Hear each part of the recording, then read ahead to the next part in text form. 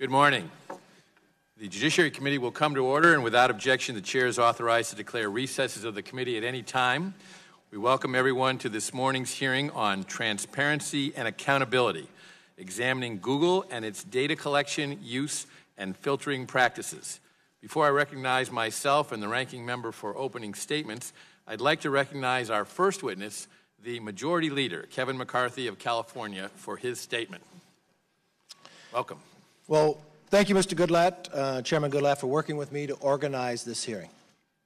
I want to thank Sundar Pichai for testifying on Capitol Hill. We appreciate and note your willingness to travel here and answer our questions. First, in a private setting in September, and now in a public setting. Google is one of the most valuable companies in America because of what it does. Google's search engine organizes the entire internet and, by extension, almost all the information in the world. This is hardly an exaggeration. Here is a statistic you will hear a lot today but it bears repeating. According to the Wall Street Journal, 90% of all internet searches go through Google. That is power, and it comes with responsibility. Mr. Pichai, it, is, it was necessary to convene this hearing because of the widening gap of distrust between technology companies and the American people. For our country and economy to grow stronger, the American people must be able to have trust in the great companies of the 21st century. We can alleviate some of their concerns today with transparency and candor. I hope we can begin to restore trust in the technology companies that shape our world, but we need answers. We need to know first that Google is committed to the free market ideals of competition and entrepreneurship that launched its revolutionary products to begin with. Second, we need to be sure that any political bias within Google's workforce does not creep into its search products. Third, we need to know that Google is living up to the America's belief in free expression and human rights when it deals with foreign governments. Now, a word on the last subject. Right now, Google reportedly is developing a censored search engine with the Chinese Communist Party. It is also developing next generation technology on Chinese soil and in conjunction with Chinese national champions like Tencent technology that the administration considers a national priority. Now, this news raises a troubling possibility that Google is being used to strengthen China's system of surveillance, repression, and control. Right this very second, China's authoritarian system detains more than a million religious minorities in re education camps. Mr. Pichai, I urge you to reflect on that fact and on the promise your company made when it pulled out of the China market in 2010. And I applauded you for that move in 2010. Back then, Google promised it would not censor its search results in China or compromise its commitment to a free and open internet. Now, in light of these recent events, I think the American people des- deserve to know is something changed? And if so, what? All of these topics competition, censorship, bias, and others point to one fundamental question that demands the nation's attention. Are America's technology companies serving as instruments of freedom or instruments of control? Are they fulfilling the promise of the digital age? Are they advancing the cause of self government? Or are they serving as instruments of manipulation? used by powerful interests and foreign governments to rob the people of their power, agency, and dignity. I believe we need to grapple with these questions together as a nation. Because the free world depends on a free internet. We need to know that Google is on the side of the free world and that it will provide its services free of anti competitive behavior, political bias, and censorship. I want to thank you again for being here and answering these questions. I look forward to listening to the answers with a very open mind, and I yield back. I'd now like to invite Mr. Pichai to take his seat at the witness table.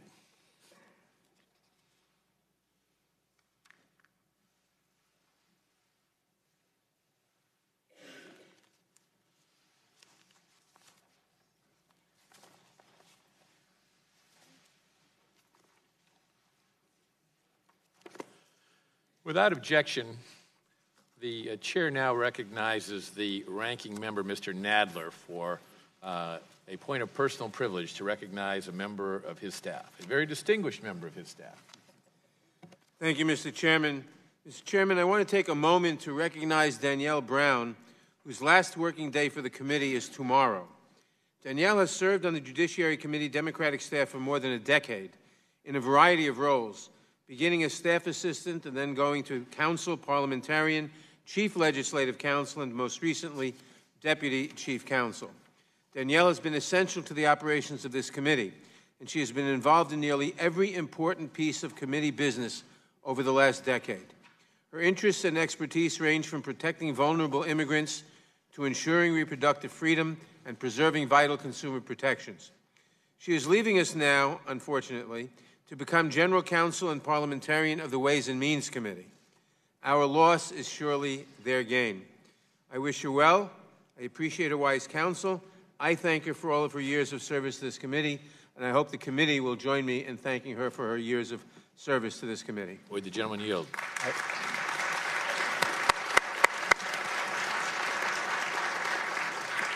I will yield to the chairman.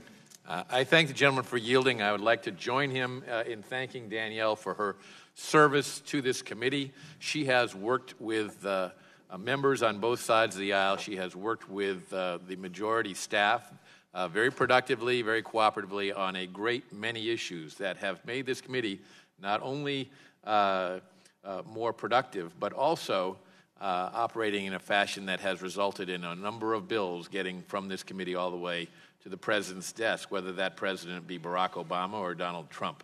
Uh, that's an accomplishment that this entire committee should be proud of, and Danielle should be proud that she's played an important part in doing that. And I thank you.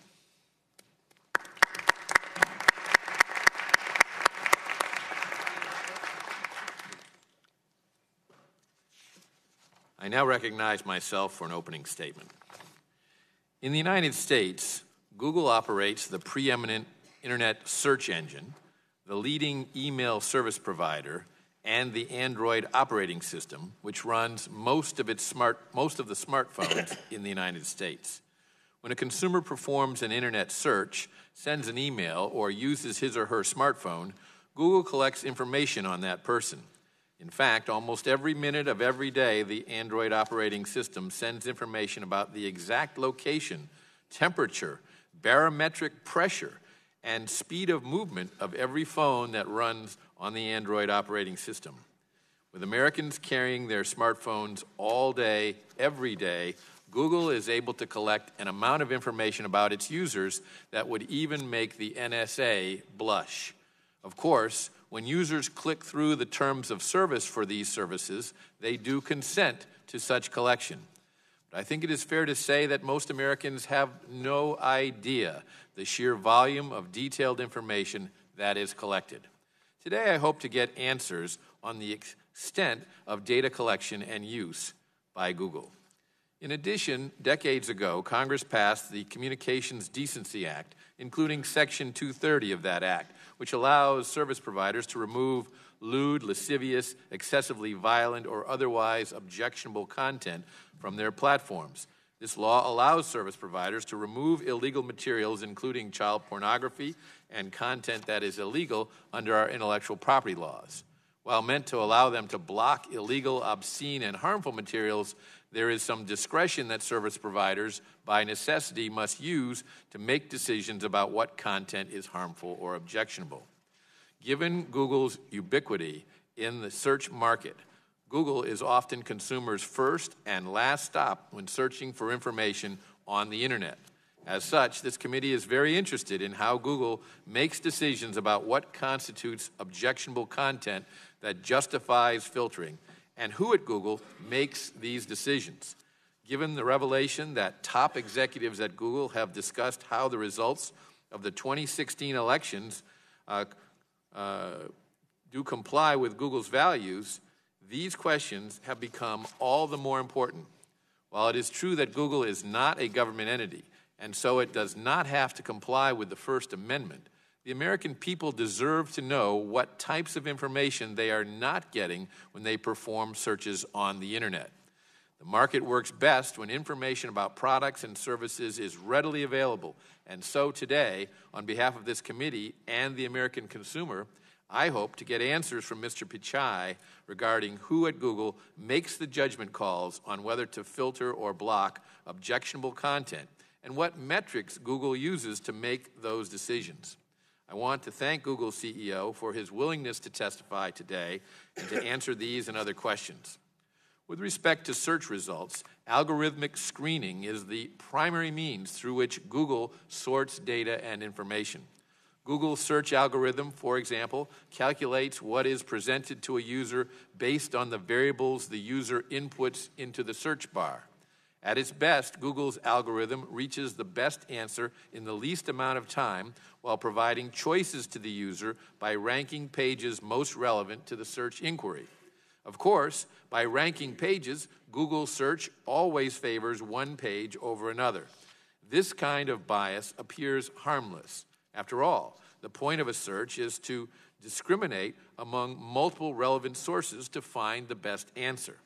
This process, however, turns much more sinister with allegations that Google manipulates its algorithm to favor the political party it likes, the ideas that it likes, or the products that it likes. There are numerous allegations in the news that Google employees have thought about doing this, talked about doing this, and have done it. The dangerous implications to a fair democratic process cannot be understated. One study performed by psychologist Robert Epstein has revealed that internet search rankings have a significant impact on consumer choices, mainly because users trust and choose higher ranked results more than lower ranked results. After performing five relevant double blind randomized controlled experiments using a total of 4,556 undecided voters representing diverse demographic characteristics of the voting populations of the United States and India, the study revealed that biased search rankings can shift the voting preferences of undecided voters by 20% or more the shift can be much higher in some demographic groups, and search ranking bias can be masked so that people show no awareness of the manipulation. The potential for this kind of bias is clearly problematic and is further compounded by the fact that Google every day collects mountains of information about its users while they are actively engaged with a Google product or even when they are not. According to a study conducted by Vanderbilt University, a dormant, stationary Android phone with Chrome active in the background communicated location information to Google 340 times during a 24 hour period, or at an average of 14 data communications per hour. The, the collection of location data may be obvious to most users, but they are often unaware of the many sensors that the Android platform supports, including an accelerometer, a barometer, and a photometer. These photometer, these sensors, in addition to the cameras and microphone on a mobile device, can collate into a very accurate picture of where a user is, what they are doing, and who else is there. The shocking amount of information that Google collects via its phones was recently featured on Good Morning America, in which a reporter using an Android phone with no SIM card that wasn't connected to the internet discovered that the phone collected the device's movement, even identifying the mode of transportation, such as the subway or even a bicycle, and at times taking 10 sensor readings per minute. Moreover, Google's practice of reinforcing its dominance in light of allegations of self serving bias creates little choice for consumers across the spectrum of internet based products or services. Given that Google's ads show up on non Google websites, and Google's search engine is being used as the default search tool on other products, such as the Apple phone, it is almost impossible to avoid Google altogether. Google in many things, uh, Google is many things. It's one of the largest data collectors ever seen in human history. It's an advertiser that can get the right product to the right customer at precisely the right time. Google is also an internet giant directing over 3.5 billion searches per day. With this massive authority, however, comes the potential for far reaching abuse. The mere suspicion that Google manipulates its products and features for self serving or even political purposes raises serious concerns about its business practices, its impact on free speech and our democratic process, and Americans' trust that the information gathered about them in their day to day lives is done with their knowledge and is not being used against them. My hope is that through our inquiries today, we will ensure more transparency and accountability going forward. Last, despite the nature and scope of today's hearing, Google is still the story of the American dream. The company was started by two individuals in a garage and grew to be one of the most successful companies in the world. Two decades ago, we could not fathom instantaneous access to more information than that which is contained in all the encyclopedias in the world. Now we take that for granted because of the innovative services Google provides. With that, I want to again thank our witness for his presence here today. I look forward to your testimony. It's now my pleasure to recognize the ranking member of the committee, the gentleman from New York, Mr. Nadler, for his opening statement. Thank you, Mr. Chairman. Mr. Chairman, our society has become increasingly reliant on social media and other online platforms to obtain, create, share, and sort information. This information helps us make decisions ranging in importance from where to make dinner reservations to which candidate to vote for in a presidential election. The public's increasing use of these platforms has generated many positive benefits for society, but it, is, it has also given rise to some troubling trends. Google is among the dominant firms in this field. As such, given the public's widespread use and reliance on its products and services, there are legitimate questions regarding the company's policies and practices, including with respect to content moderation and the protection of user privacy. But before we delve into these questions, I must first dispense with a completely illegitimate issue, which is the fantasy dreamed up by some conservatives that Google and other online platforms have an anti conservative bias. As I have said repeatedly, no credible evidence supports this right wing conspiracy theory. I have little doubt that my Republican colleagues will spend much of their time presenting a laundry list of anecdotes and out of context statements made by Google employees as supposed evidence of anti conservative bias but none of that will actually make it true. But this fact free propaganda does help generate the mistrust that the majority leader referred to a few moments ago. And even if Google were deliberately discriminating against conservative viewpoints, just as Fox News and Sinclair Broadcasting and conservative talk radio hosts like Rush Limbaugh discriminate against liberal points of view, that would be its right as a private company to do so not to be questioned by government. During the Reagan administration, about 35 years ago, the Federal Communications Commissioners appointed by Ronald Reagan abolished what we used to have called the Fairness Doctrine, which placed an obligation on broadcasters who use the public airwaves to be fair to different points of view. This question might be relevant if the Republican members wanted to bring back the Fairness Doctrine and expand its scope to social media companies. I doubt we will see any interest in doing so. But we should not let the delusions of the far right distract us from the real issues that should be the focus of today's hearing. For example, we should examine what Google is doing to stop hostile foreign powers from using its platform to spread false information in order to harm our political discourse. It has been more than two years since the 2016 election, yet this committee has not held a single hearing focused on Russia's campaign to manipulate online platforms to undermine American democracy, despite the fact that it is the consensus view of our intelligence agencies that Russia engaged in a massive disinformation campaign to influence the 2016 election. I hope that Mr. Pichai can tell us what actions Google has taken to counter this unprecedented attack and what gaps remain in its defenses without being so specific as to give a, uh, a guidance to foreign powers. This may help Congress determine what more can be done to further insulate our democratic processes from foreign interference. We should also examine how Google enforces community standards that prohibit racist or bigoted threats and other inappropriate conduct. While Internet platforms have produced many societal benefits, they have also provided a new tool for those seeking to stoke racial and ethnic hatred. The presence of hateful conduct and content on these platforms has been made all the more alarming by the recent rise in hate motivated violence. According to statistics recently released by the FBI, reported incidents of hate crimes rose by 17% last year compared to 2016, marking the third consecutive year that such reports have increased. The horrible massacre at the Tree of Life Synagogue in Pittsburgh, the recent murder of an African American couple in a Kentucky grocery store, the killing of an Indian engineer last year in Kansas are sadly not isolated outbursts of violence, but the most salient examples of a troubling trend.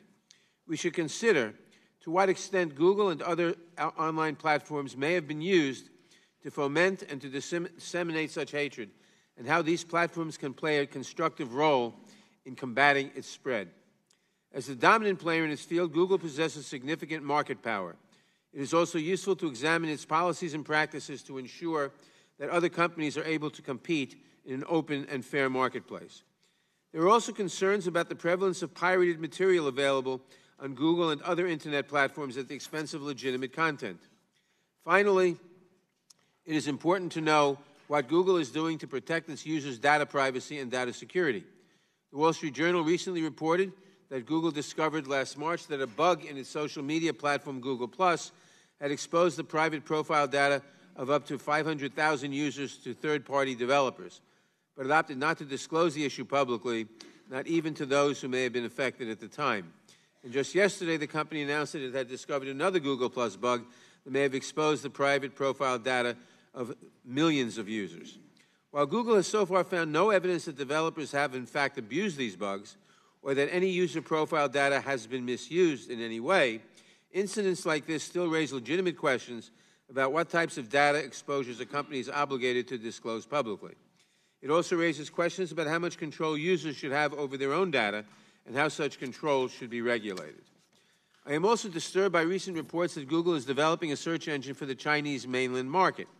According to these reports, this search engine would not only accommodate Chinese government censors, it might allow the Chinese government to track individuals by linking search terms to the user's mobile phone number.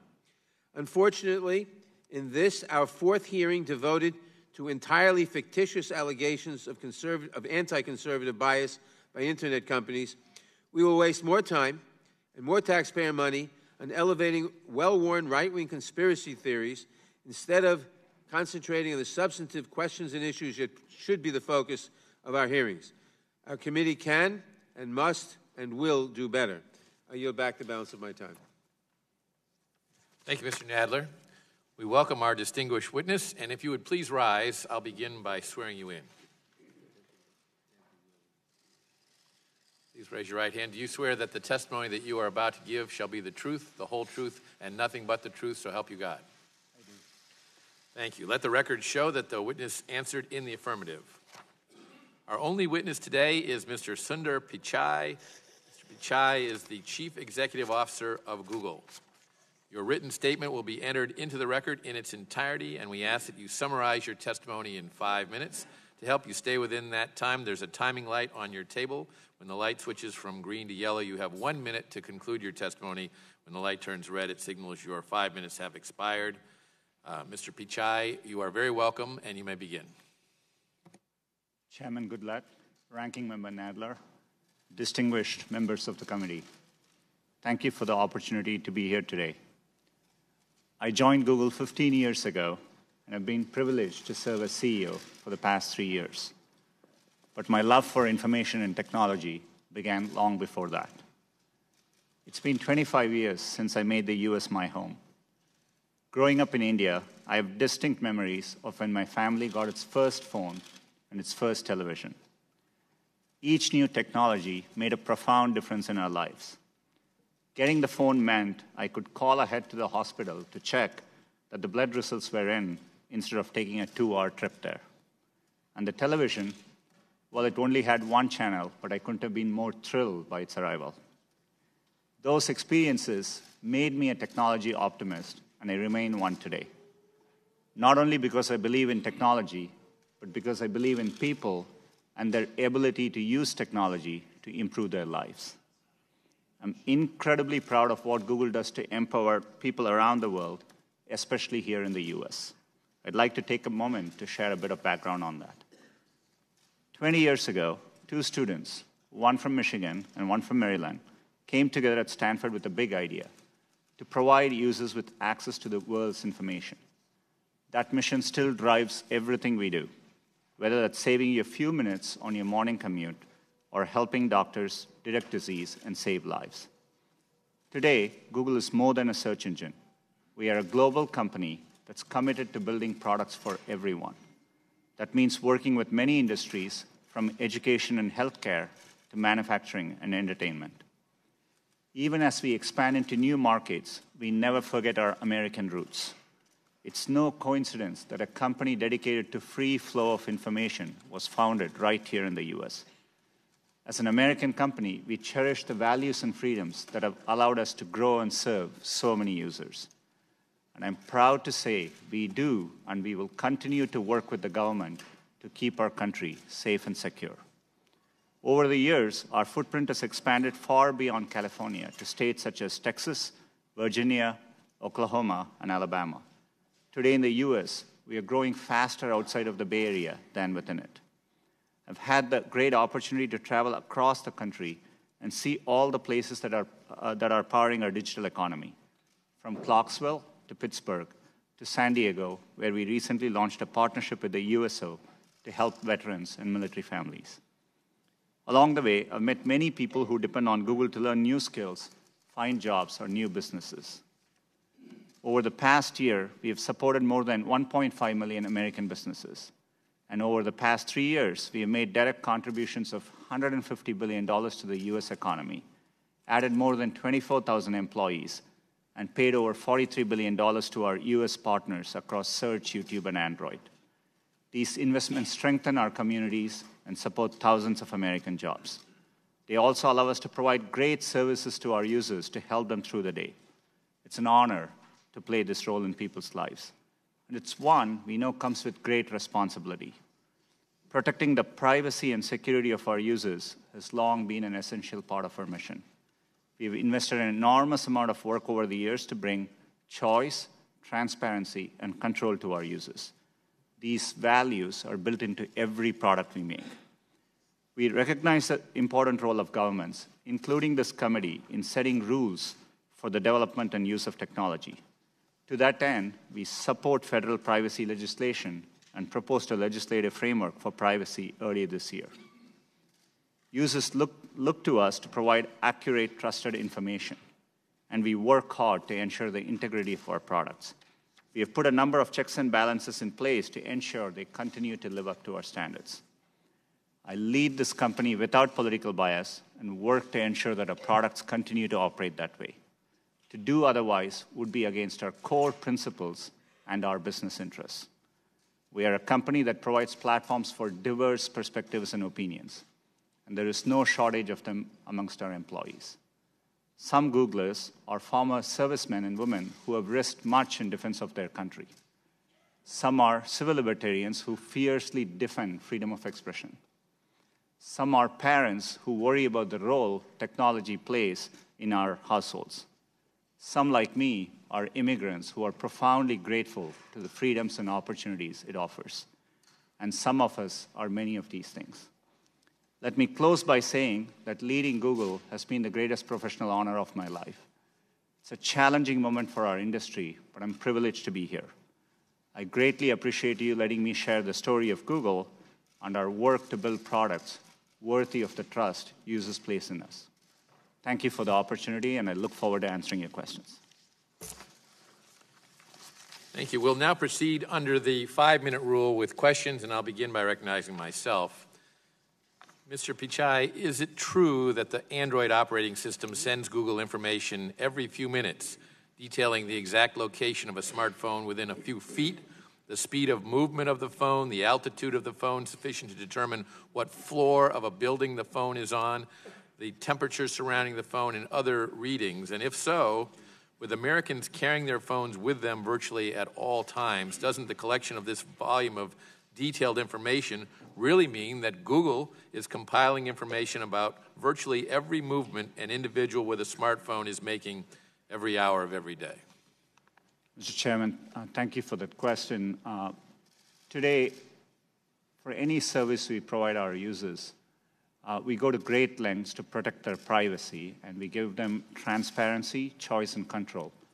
Uh, Android is a powerful platform and, and provides smartphone for over 2 billion people. And as part of that, it depends on the applications users choose to use. Uh, if you're using a fitness application, which is detecting the number of steps you walk, you expect it to send that information. But it's a choice users make. We make it clear, and, and it depends on the use cases. So the, the answer to my question, my first question is yes. Is that correct? That the information that I cited uh, is gathered uh, by Google? It, if, if the, for Google services, uh, you have a choice of what information is collected, and we make it transparent. transparent. I understand there are, there are uses that consumers make use of. I use it to keep track of the number of steps I walk. I understand uh, uh, that uh, service that one of your competitors provides, so I, I understand that purpose. But do you think the average consumer understands that Google will collect this volume of detailed information when they click through the terms of service agreements in order to use the Android operating system? It's really important for us that, uh, you know, that average users are able to understand it. This is why we do something called privacy checkup. I think average users read the terms of service and the updates that are very frequently sent to us? Uh, beyond the terms of service, we actually offer, we remind users to do a privacy checkup, and we make it very obvious. Every month, in, in fact, in the last 28 days, 160 million users went to, went to their My Account settings, where they can clearly see what information we have. We actually give, you know, show it back to them, and we give clear toggles by category where they can decide uh, whether that information is collected, stored, or more importantly, if they decide to stop using it, we work hard to make it possible for users to take their data with them if they choose to use another service. Uh, let me switch to uh, the issue of Section 230 of the Communications Decency Act. You heard me uh, say in my opening statement that this provides broad liability protections for you and other technology companies for good faith restrictions uh, that uh, when Google thinks uh, something is obscene, lewd, lascivious, filthy, excessively violent, harassing, or otherwise objectionable. On the other hand, objectionable material, by whatever standard uh, applied, likely elicits the most engagement from users on your site. And for Google, increased engagement potentially means increased revenue. However, it is important for Google to make very clear where it draws the line, and I don't believe Google has done its best to make that clear. Uh, so, what I would ask is the following Would Google or YouTube be willing to make changes in support of a healthier civic dialogue if doing so meant a drop in user engagement metrics? Absolutely, Mr. Chairman. We have a long track record of, uh, we have always focused on long term goals towards user satisfaction. We focus on their knowledge, happiness, success, and, and, and that's what we work hard to create. It is important to us that platforms like YouTube are viable over the long run. It's in our natural incentive to do so. YouTube is a place where users, advertisers, and content creators who make their livelihoods use the platform. And so we want to make this work in a sustainable way. When it comes to um, political advertising, as you know, some of your competitors in other uh, advertising uh, media are required by law to offer the same rate, the lowest rate, as a matter of fact, uh, to all political candidates. So, for example, that's true in television and radio. Uh, would Google, um, should competing political candidates be charged the same effective ad rates to reach prospective voters? Our advertising products uh, are built without any bias, and the, and the rates are competitive, set by a live auction process. So depending on the keywords for which you're bidding for, uh, depending on the demand there is in the auction, uh, the prices are automatically calculated. So, uh, you know, the system decides that based I understand on it's automatically calculated, but could two competing political candidates targeting the same audience see different ad rates? And if yes, could that disparity be substantial? There wouldn't be a difference based on uh, you know, any political reasons unless there are keywords which are of particular interest and the market determines it. So it's, it's essentially a supply-demand equilibrium. It can lead to difference in rates, but it, will vary from time to time. Can those rates be very substantial in difference? Uh, there could be occasions where, uh, yes, uh, there could be difference in rates. Yeah, I haven't looked at the specifics of it. Yeah. So the result is different than in other uh, markets like television or radio, where every candidate is entitled to the lowest rate that that uh, uh, television station or radio station offers to any political candidate for office. We, you know, there could be variations based on the time of the day, uh, uh, the keywords you're choosing to go for, you know, the geographies you're advertising in. But it's decided by the system, and, and it's a process we have done for over 20 years. And uh, uh, let me assure you, anything to do with our civic process, we make sure we do so in a nonpartisan way, and it's really important for us. Thank you. The chair recognizes the gentleman from New York, Mr. Nadler, for five minutes. Thank you, Mr. Pichai. According to media reports, Google found evidence that, uh, uh, well, let me go to the other one first. Google found a bug in its Google Plus social media platform that could have potentially exposed the private data of up to half a million users without the consent to third party developers. Google, however, did not disclose this bug until months later after it was revealed by a report in the Wall Street Journal. Uh, yesterday, as I mentioned before, they found an, you announced another bug. What legal obligations is the company under to disclose data exposures that do not involve sensitive financial information, but still involve private personal data like a user's name, age, email address, or phone number? Uh, Congressman, we take privacy seriously. Uh, the, the bugs you mentioned are bugs. We, we found them by either doing an audit or you know, using our automated testing systems. Whenever we find any bugs, uh, we follow, uh, you know, it gets escalated to our privacy and data protection office, and we comply with. All right, I'm, I'm not criticizing what you do. I'm asking what legal obligation is the company under to disclose such, such uh, data exposures that don't involve financial information but still involve other personal information? Uh, it depends on the situation. We follow the requirements, uh, and, and in that case, in the first case, uh, typically we look at our legal requirements, but we go above and beyond to make sure we do the right thing for our users. In the first case, uh, both there was no evidence data was misused, and we couldn't accurately. Did- I understand all that, but my question is, what legal obligations are there? Uh, you know, today, uh, right now if you've found a bug, uh, you know, and you've ascertained, once you've done the investigation and you've ascertained the users who are eligible for notification, uh, my understanding is you have 72 hours, and we both notify users as well as regulators in that time frame. Okay, thank you. Now, according to media reports, Google found evidence that Russian agents spent thousands of dollars to purchase ads on its advertising platforms that span multiple Google products as part of the agents, the Russian agents, campaign to interfere in the election two years ago. Additionally, Juniper Downs, head of global policy for YouTube, testified in July that YouTube had identified and shut down multiple and shut down multiple channels containing thousands of videos associated with the Russian misinformation campaign. Does Google now know the full extent to which its online platforms were exploited by Russian actors in the election two years ago? We have uh, you know, we undertook a very thorough investigation, and in 2016, uh, we, we now know that uh, there were uh, two main ad accounts uh, linked to Russia, which, uh, which you know, advertised on Google for about $4,700 in advertising. We also found other limited... Total of $4,700? That's right. Uh, which was, uh, you know, no amount is uh, okay here, but, you know, uh, but mm-hmm. we found limited activity, improper activity. We have learned a lot from that, and we've, you know, dramatically increased the protections we have around our uh, election offerings. Leading up to the current elections, we, did, we again found limited activity, both from the Internet Research Agency in Russia, as well as accounts linked to Iran.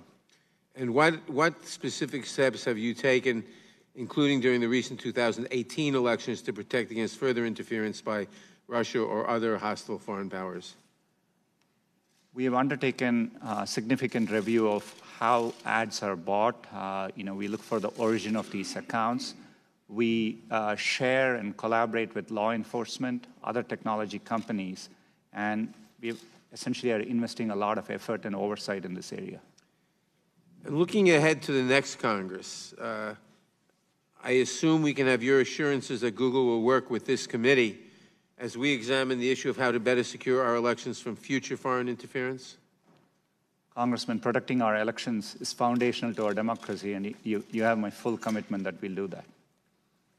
Okay, my last question, because we time is running out. Uh, what are you doing? What is Google doing to combat the spread of white supremacy and right-wing extremism across YouTube?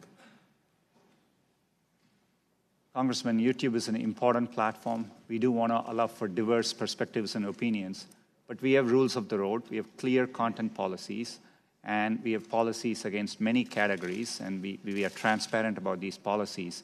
And, uh, you know, and when we find violations on our policies, we do remove those videos and handle content. When you find violations, you what? Of, your, of our policy. For example, we have policies against hate speech, and we clearly define them. And if we find any violations there, we do take down the take down content. When you take down the content, do you note uh, who put it up so you can flag uh, future content from the same sources? we, we, we, un, you know, we look at it on a video by video basis. Uh, to the extent there are repeat offenses from a same account, we do take into account and we notify the content creator and we follow up accordingly. Thank you very much. I yield back. Chair recognizes the gentleman from Texas, Mr. Smith, for five minutes. Thank you, Mr. Chairman. Mr. Chairman, Google has revolutionized the world, though not entirely in the way I expected. Americans deserve the facts objectively reported. The muting of conservative voices by internet platforms has intensified, especially during the presidency of Donald Trump. More than 90% of all internet searches take place on Google or its subsidiary, YouTube, and they are curating what we see.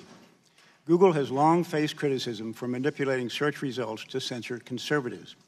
Conservative individuals and organizations have had their pro Trump content tagged as hate speech or had their content reduced in search results. And enforcement of immigration laws has been tagged as hate speech as well. Such actions pose a grave threat to our democratic form of government. PJ Media found that 96% of search results for Trump were from liberal media outlets. In fact, not a single right leaning site appeared on the first page of search results. This doesn't happen by accident, but is baked into the algorithms. Those who write the algorithms get the results they must want, and apparently management allows it. Dr. Robert Epstein, a Harvard trained psychologist, authored a study recently that showed Google's bias likely swung 2.6 million votes to Hillary Clinton in the 2016 election. Google could well elect the next president with dire implications for our democracy. This should be of real concern to all but the most politically partisan. Those at the top set the tone. It will require a Herculean effort by the chief executive and senior management to change the political bias now programmed into the company's culture. And Mr. Pichai, let me ask my first question about those examples of political bias that I just mentioned, and you're going to hear others too. In your opening statement, you mentioned your desire to provide information that was without political bias. Clearly, that's not working. So, what are you going to improve that situation? Congressman, thanks for the question. If I may, uh, some of the studies you mentioned, we have investigated those. There are, there are other studies which have looked at it. We have found issues with the methodology and the sample size and so on. But let me step back and say, providing users with high quality, accurate, and trusted information is sacrosanct to us. It's what our principles are, and our business interests, our natural long term incentives are aligned with that. We want to serve users everywhere, and we need to earn their trust in doing so. Right. So, so what actions are you going to take to try to counter the political bias in some of those examples that I just gave. I mean, they're irrefutable. So it, it occurs, you have to take some responsibility for that bias. What do you intend to do about it? Congressman, uh, with respect, Dr. Epstein's study, we have investigated. We, we don't agree with the methodology. Happy to follow up with your office and give our findings right. on, that, on that study. When we look at it, we evaluate our studies to uh, evaluate our search results Today, we use a very robust methodology, and we have been doing this for 20 years. Uh, making sure the results are accurate is what we need to do well, and we work hard Okay. to do that. Uh, what does methodology have to do with the fact that 96% of the references to Trump are from liberal media?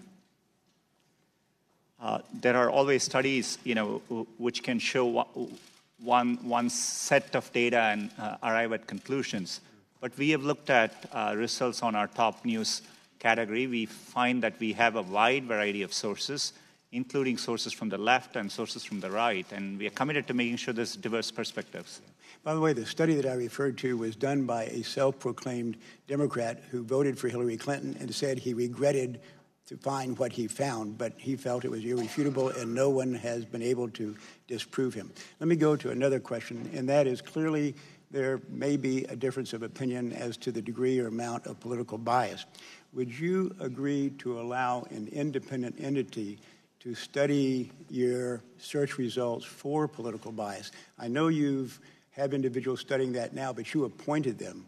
Would you allow a third-party, independent, outside organization to study your search results and cooperate with them uh, to determine the degree, or if any, of political bias?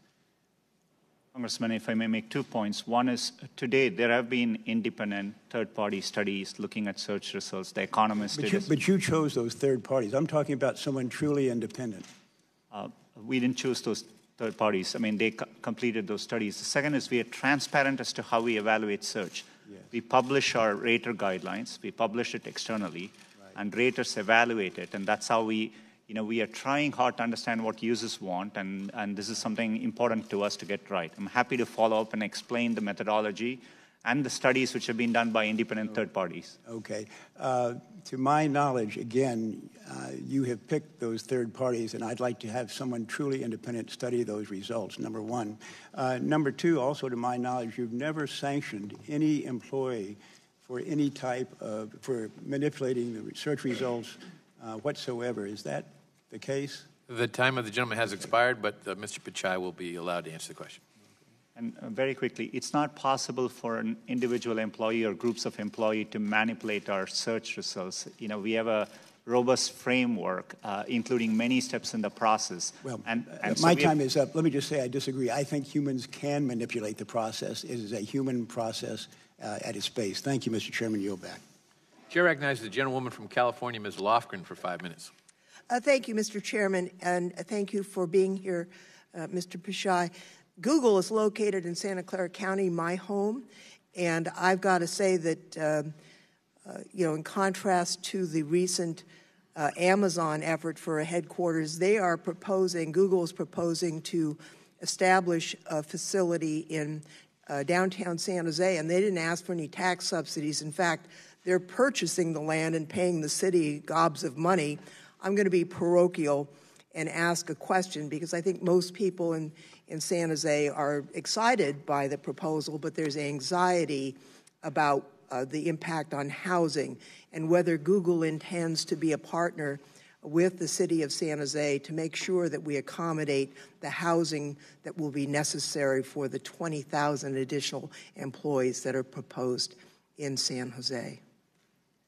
Uh, sorry, I missed the last part of your question. Whether you would be a partner with the city in helping to provide additional housing to accommodate these employees.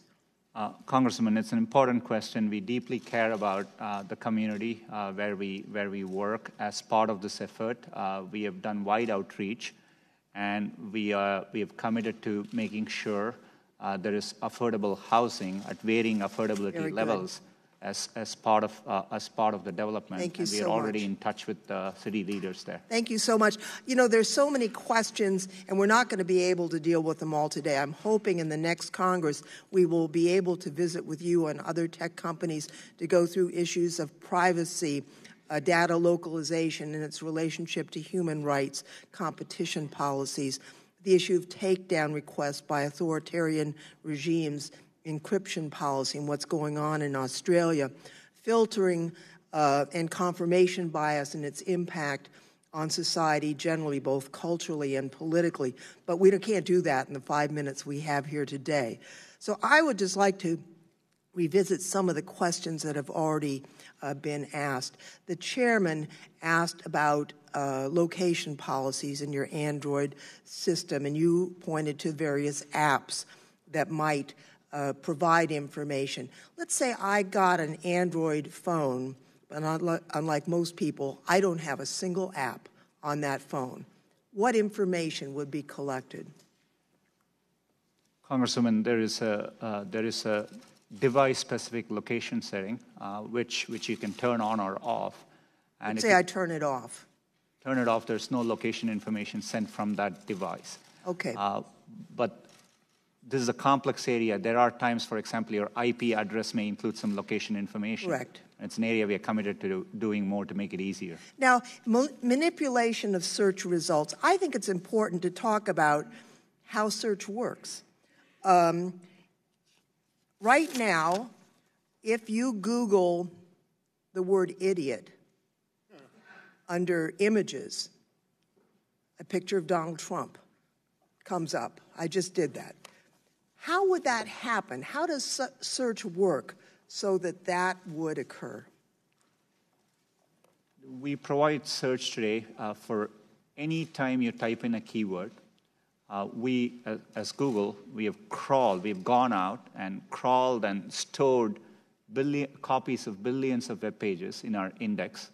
And we take the keyword and match it against web pages and rank them based on over 200 signals. Things like relevance, freshness, popularity, how other people are using it. And, and based on that, you know, at any given time, uh, we try to rank and find the best results for that query. And then we evaluate them with external raters uh, to make sure that, uh, and they evaluate it to objective guidelines. And, and that's how we make sure the process is working. So it's not some little man sitting behind the curtain figuring out what we're going to show the user. It's basically a compilation of what users are generating and trying to sort through that information. Uh, last year we served over 3 trillion searches. And uh, just, just as a fact, every single day, 15% of the searches Google sees, we have never seen them before. So, uh, so th- this is working at scale. And you know, we don't you know, manually intervene on any particular search result. I, I would just like to note from time to time, my colleagues on the other side of the aisle complain that they hear an individual engineer appears to be a Democrat. And I just like to put this in context. In Santa Clara County, Donald Trump in the, in the 2016 election got 20% of the vote. That's how much of the vote he got. So it's not a surprise that the engineers who live in Santa Clara County would reflect that general political outcome. That has nothing to do with the algorithms and the really automated process that is the search engine that serves us uh, you know, if we didn't have Google, we wouldn't be able to find any information um, in, in the efficient way that we do. I look forward next year to working with you on some of the very serious questions that we face. It's pretty obvious that bias against conservative voices is not one of them. Thank you uh, very much. My time has expired, Mr. Chair The chair recognizes the gentleman from Ohio, Mr. Chabot, for five minutes. Thank you, Mr. Chairman. And Mr. Pichai, let me start out with uh, uh, something real quickly. We've heard several times this morning uh, the mention that 90% of the time that a person, he or she, does an internet search, that it's through Google. Would you basically agree that that's, that, that's true? More than ever, there are many ways users access information. Just to give an example, if you're, if you're trying to shop, if you're trying to buy something, more than 50% of product searches originate with Amazon in the US today. Uh, if you're looking for information on, on news, today you can get it from more sources than ever before. But do, do, do you dispute then the 90% number? You know, our internal, I mean, it's tough for us to assess the numbers. There are external studies which have shown uh, different numbers, including lower numbers okay. than that. Okay. Um, now, you've, you've heard the allegation this morning. I know you dispute it, but you've heard the allegation that there's a bias in favor of liberal or progressive uh, points of view and against a more conservative uh, point. You've heard that this morning uh, already, is that correct? Uh, yes, I'm. Okay. Uh, let, let, me tell you now about a firsthand uh, experience that, that I've had. I do a, a, weekly blog. I've been doing it for the better part of nine years now. Um, and a while back, uh, Republicans in the House passed legislation to repeal and replace uh, Obamacare. Um, our bill was called the American Health Care Act or the AHCA. Uh, when I was writing my blog about that, I, I Googled American Health Care Act, and virtually every article was an attack on our bill. Article after article alleging that our bill would result in millions and millions of people losing the great care that they were supposedly getting under Obamacare. Um, I would argue that was completely false. Uh, but it wasn't until you got to the third or fourth page of search results before you found anything remotely positive ab- about our bill. Let me give you a second example. The Republican tax cut bill was passed uh, about a year ago, uh, the Tax Cuts and, and, Jobs Act, same story. Uh, article after article attacking the Republican tax cut plan, alleging uh, the tax cuts only went to the rich when uh, in actuality, about 85% of taxpayers got their taxes cut, including millions and millions of middle class uh, taxpayers. And once again, uh, to find any article that had anything uh, remotely good to say uh, about our plan, you had to go deep into the, into the search results. Um, now, I know Google's attitude, um, uh, the algorithm made us do it, but I, I, don't know that I buy that. How, how do you explain this apparent bias on Google's part against conservative points of view, against conservative uh, policies? Is it just the algorithm, or, or, is there more happening there? Congressman, I understand the frustration at seeing negative news, and you know I see it on me on Google. There are times you can search on Google, and page after page there's negative news which we reflect. But what, what is important here is we use a robust methodology to reflect what is being said about any given topic at any particular time. And we try to do it objectively using a, a set of rubrics. It is in our interest to make sure we reflect uh, uh, what's happening out there in the best objective manner possible. I can commit to you and I can assure you we do it without regards to political ideology. Our algorithms have no notion of political sentiment. Yes, not I'm, I'm going to run out of time here. I apologize for interrupting, but um, and, and I and I sincerely believe that, that you believe what you're saying here. But you've got a, almost 90,000 uh, employees. Somebody out there is doing something uh, that that just isn't working if you're looking for unbiased results. Um, and I've seen this firsthand. Uh, time after time. I just mentioned two of the most obvious ones that people would remember. Yeah, those bills, heard about those. Um, so I, have seen it. If what is what I've described and some others, I'm sure you're going to hear other examples. If it is happening, do you see how conservatives believe um, that your company is kind of putting their thumb on the scale, so to speak? Uh, that you're in effect picking winners and losers in political discourse out there in America today, and therefore actually affecting uh, elections. And, and uh, do you see why conservatives would be concerned about this and why we're asking these kinds of questions today? There's a lot of people that think what I'm saying here is happening, and I think it's happening. So uh, I've only got about 20 seconds to go, but I'll yield it to you. Congressman, it's important to me that I, I understand these concerns. This is why I've, I've, been trying to reach out and meet people. We've, we've done outreach. We want to explain how these things work. We are happy to look at independent studies. Uh, it's important to us to demonstrate that our products work without any bias and, and we build our products in a neutral way. And I'm happy to follow up and look forward to uh, you know, uh, getting a chance to explain it better. Thank you very much. And I appreciate your willingness to follow up because there's, I think, a lot of people have a lot of questions.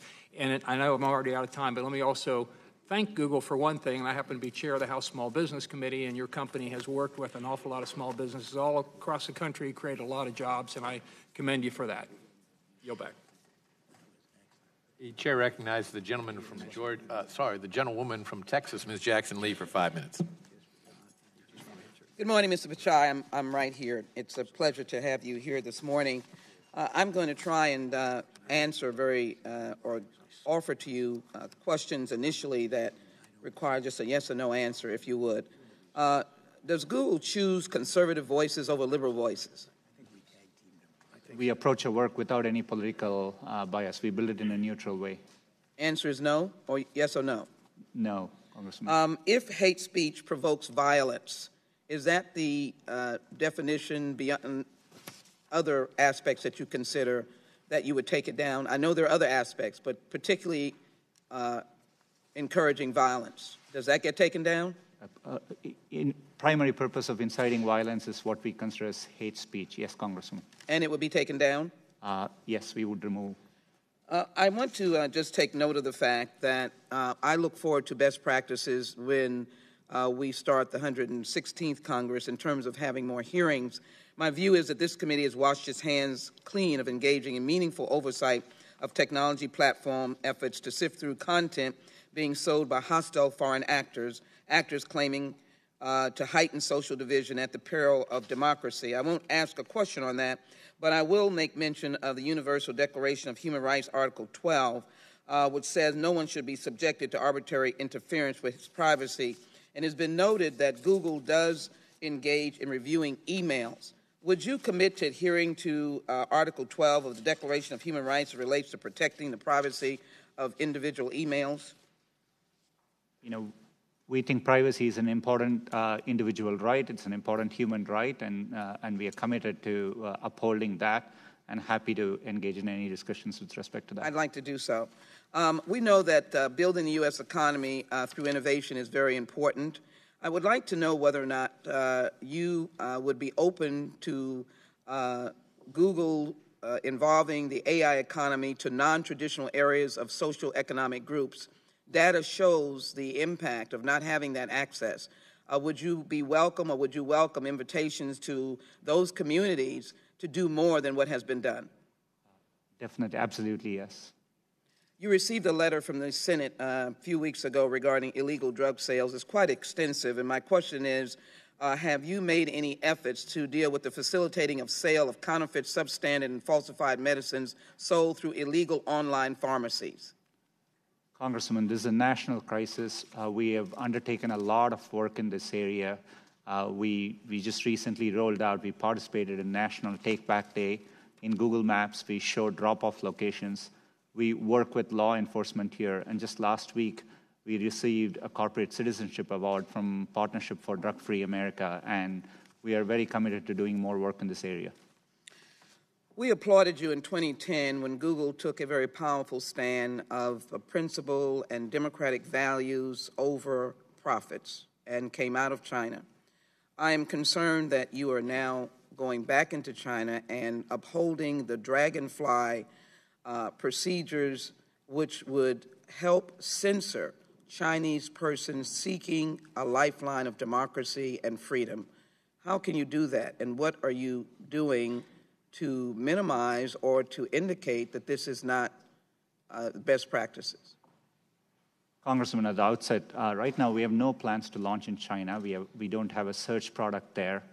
Uh, our, our core mission is to provide users access to information, and getting access to information is an important human right. So we are always compelled across the world uh, to try hard to provide that information. And, but right now, there are no plans to launch search in China.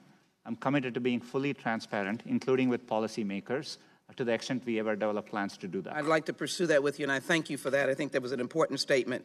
Um, my community is diverse. Uh, as you well may have heard, the Congressional Black Caucus has been working extensively uh, with Google and other search engines to recognize there are not enough individuals of diversity and African Americans.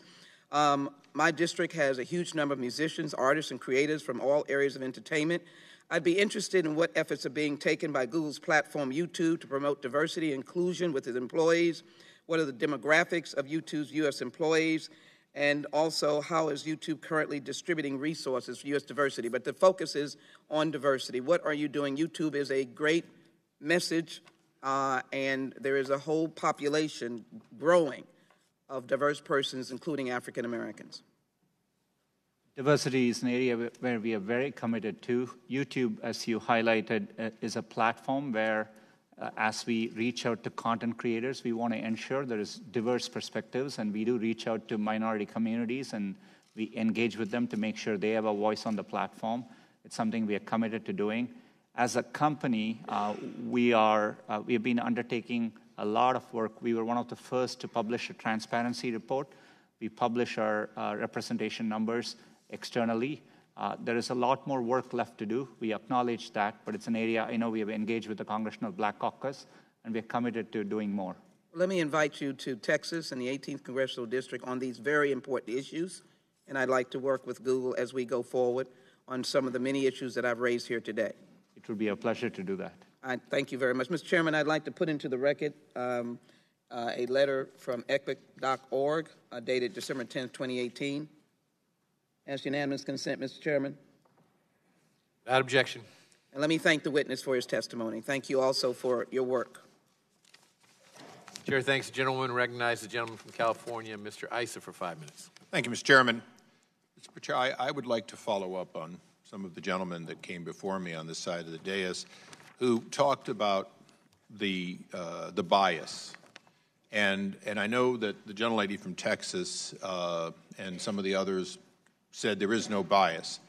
But I'd like to, uh, to pick up where Sheila Jackson Lee just left off because I think it's important. She used numbers and out, outcome that she either has or believes exist to say that you have to do better in the minority community. Do you agree with that? As a company, we are committed to making sure. No, no, but statistically, the outcome that she measures is how she asks you to do better because your outcome is insufficient relative to the size of her community. Do you agree with that? You know, I interpret it as we today don't have enough representation uh, uh, internally. Very, very good. You got her point. Now, here's the point that I think we're giving.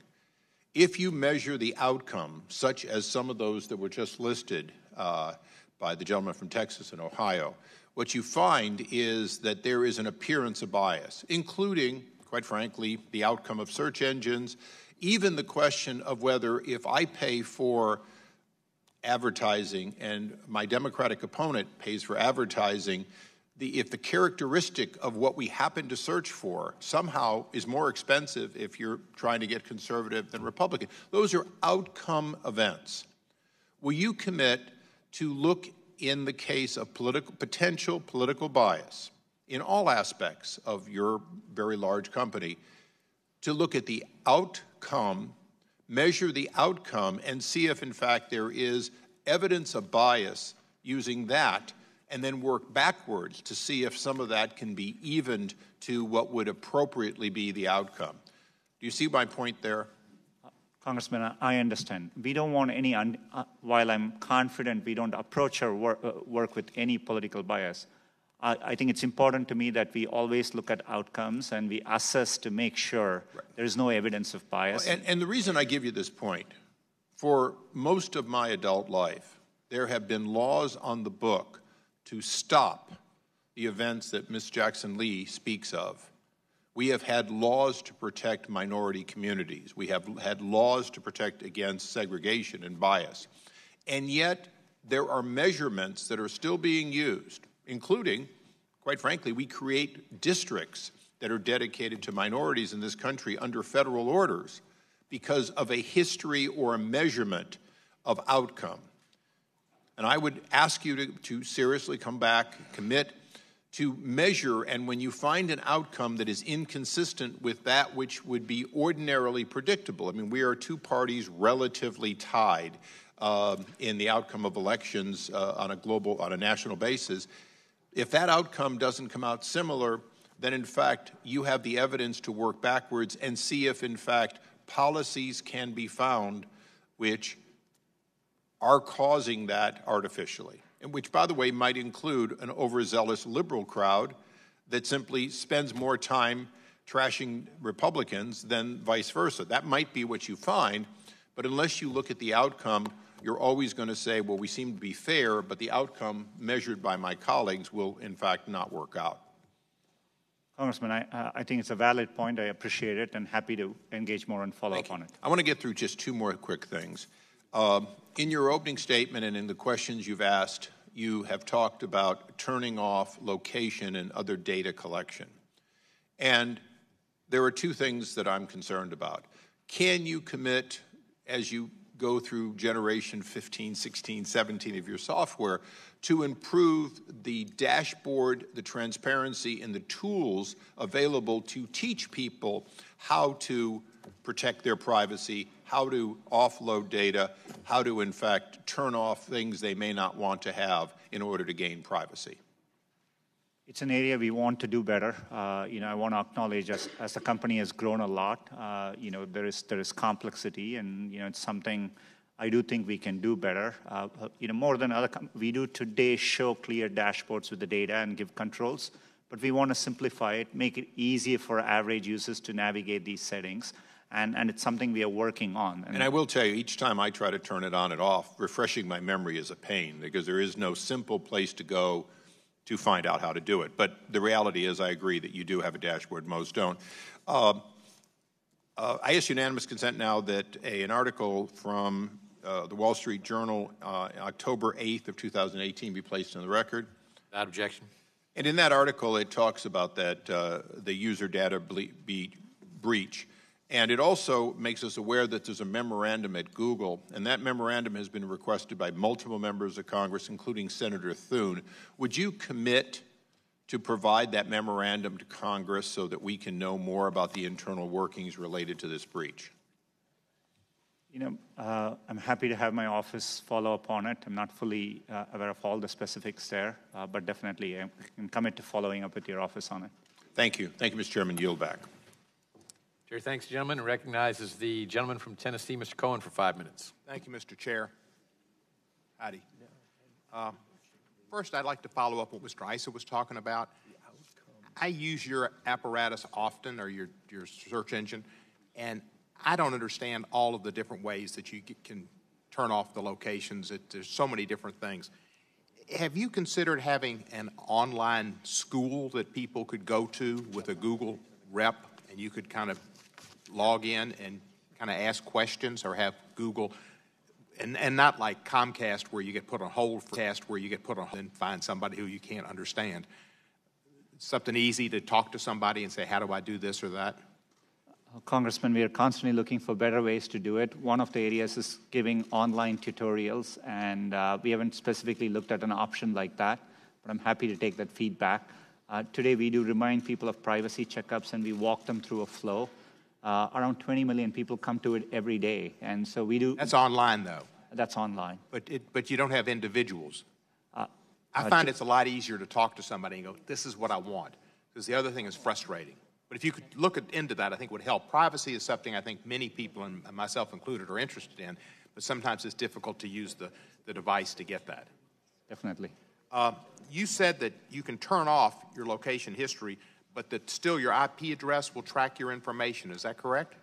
Uh, all I meant, not just common to Google. Today, many internet companies uh, do collect and sometimes store IP information for security reasons for example, we need to know the language in which we serve your search results. There may be some location information, uh, you know, in there. Location turns out to be in the fabric of how people use internet today.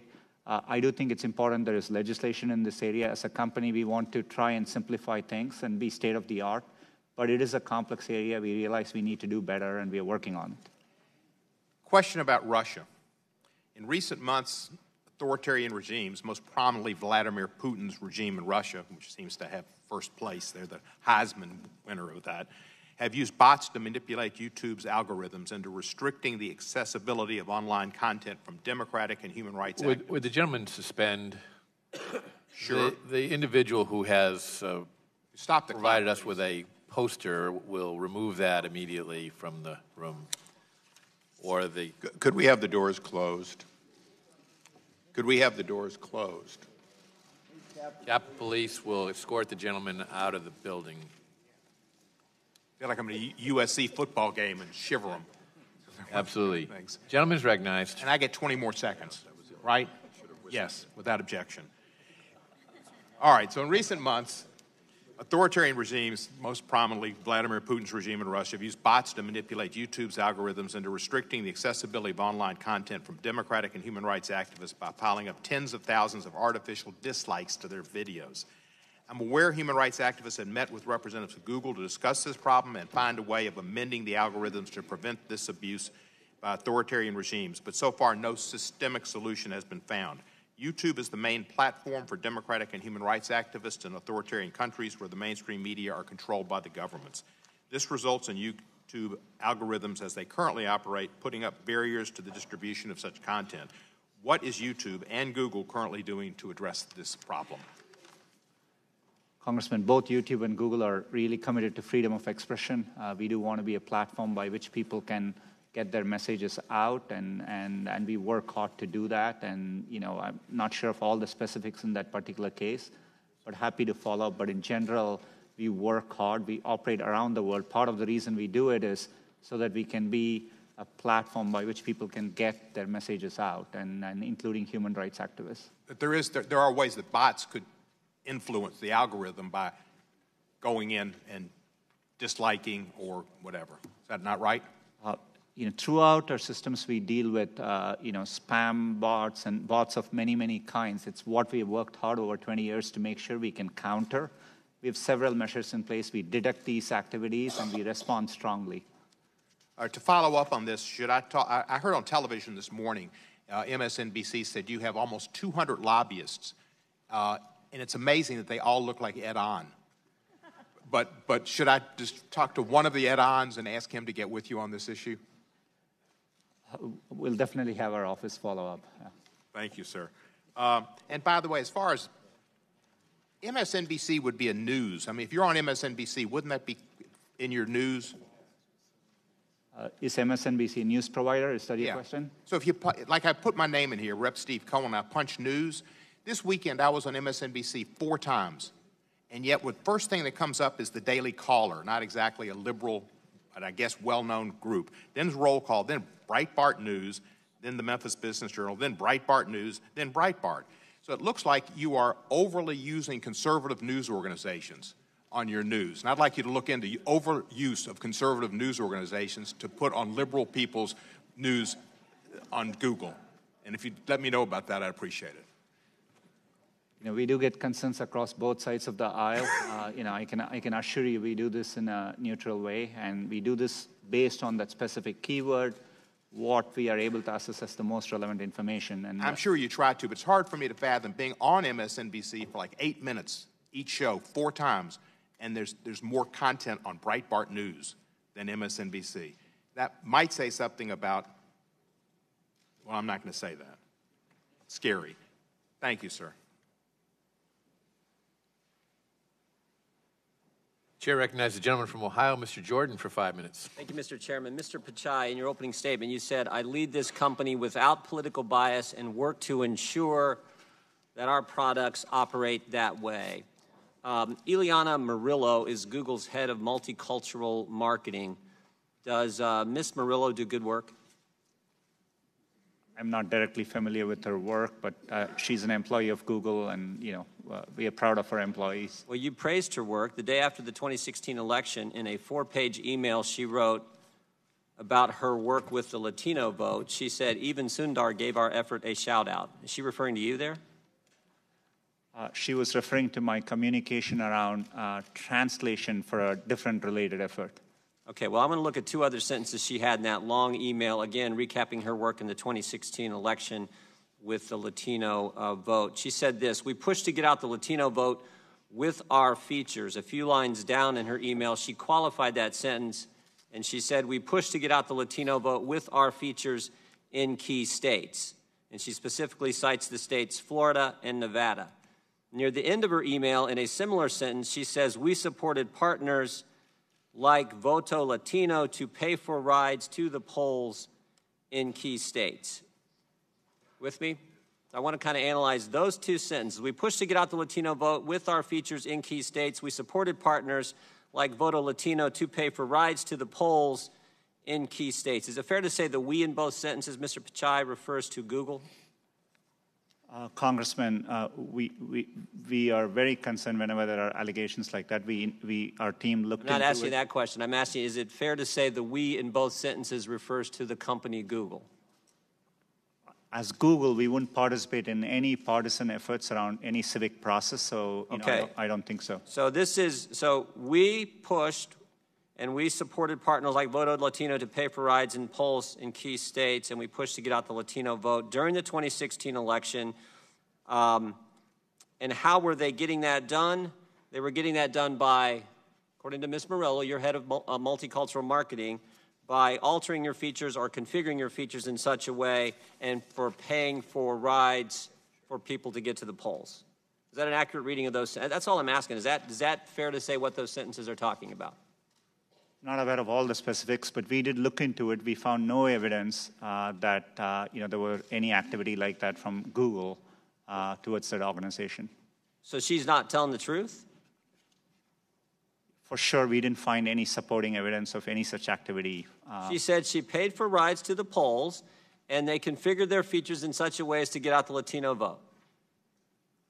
And, and look, look, I actually think that's all okay, right? I think that, that that's just a good corporate citizen encouraging voter participation, encouraging people to participate in our election process. I think so far those sentences are just fine.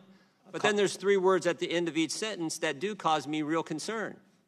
And those three words are we push to get out the Latino vote with our features in key states. Now suddenly it gets political. We supported partners like Voto Latino to pay for rides to the polls in key states. Now that makes everything different. So I got really just one question for you. Why?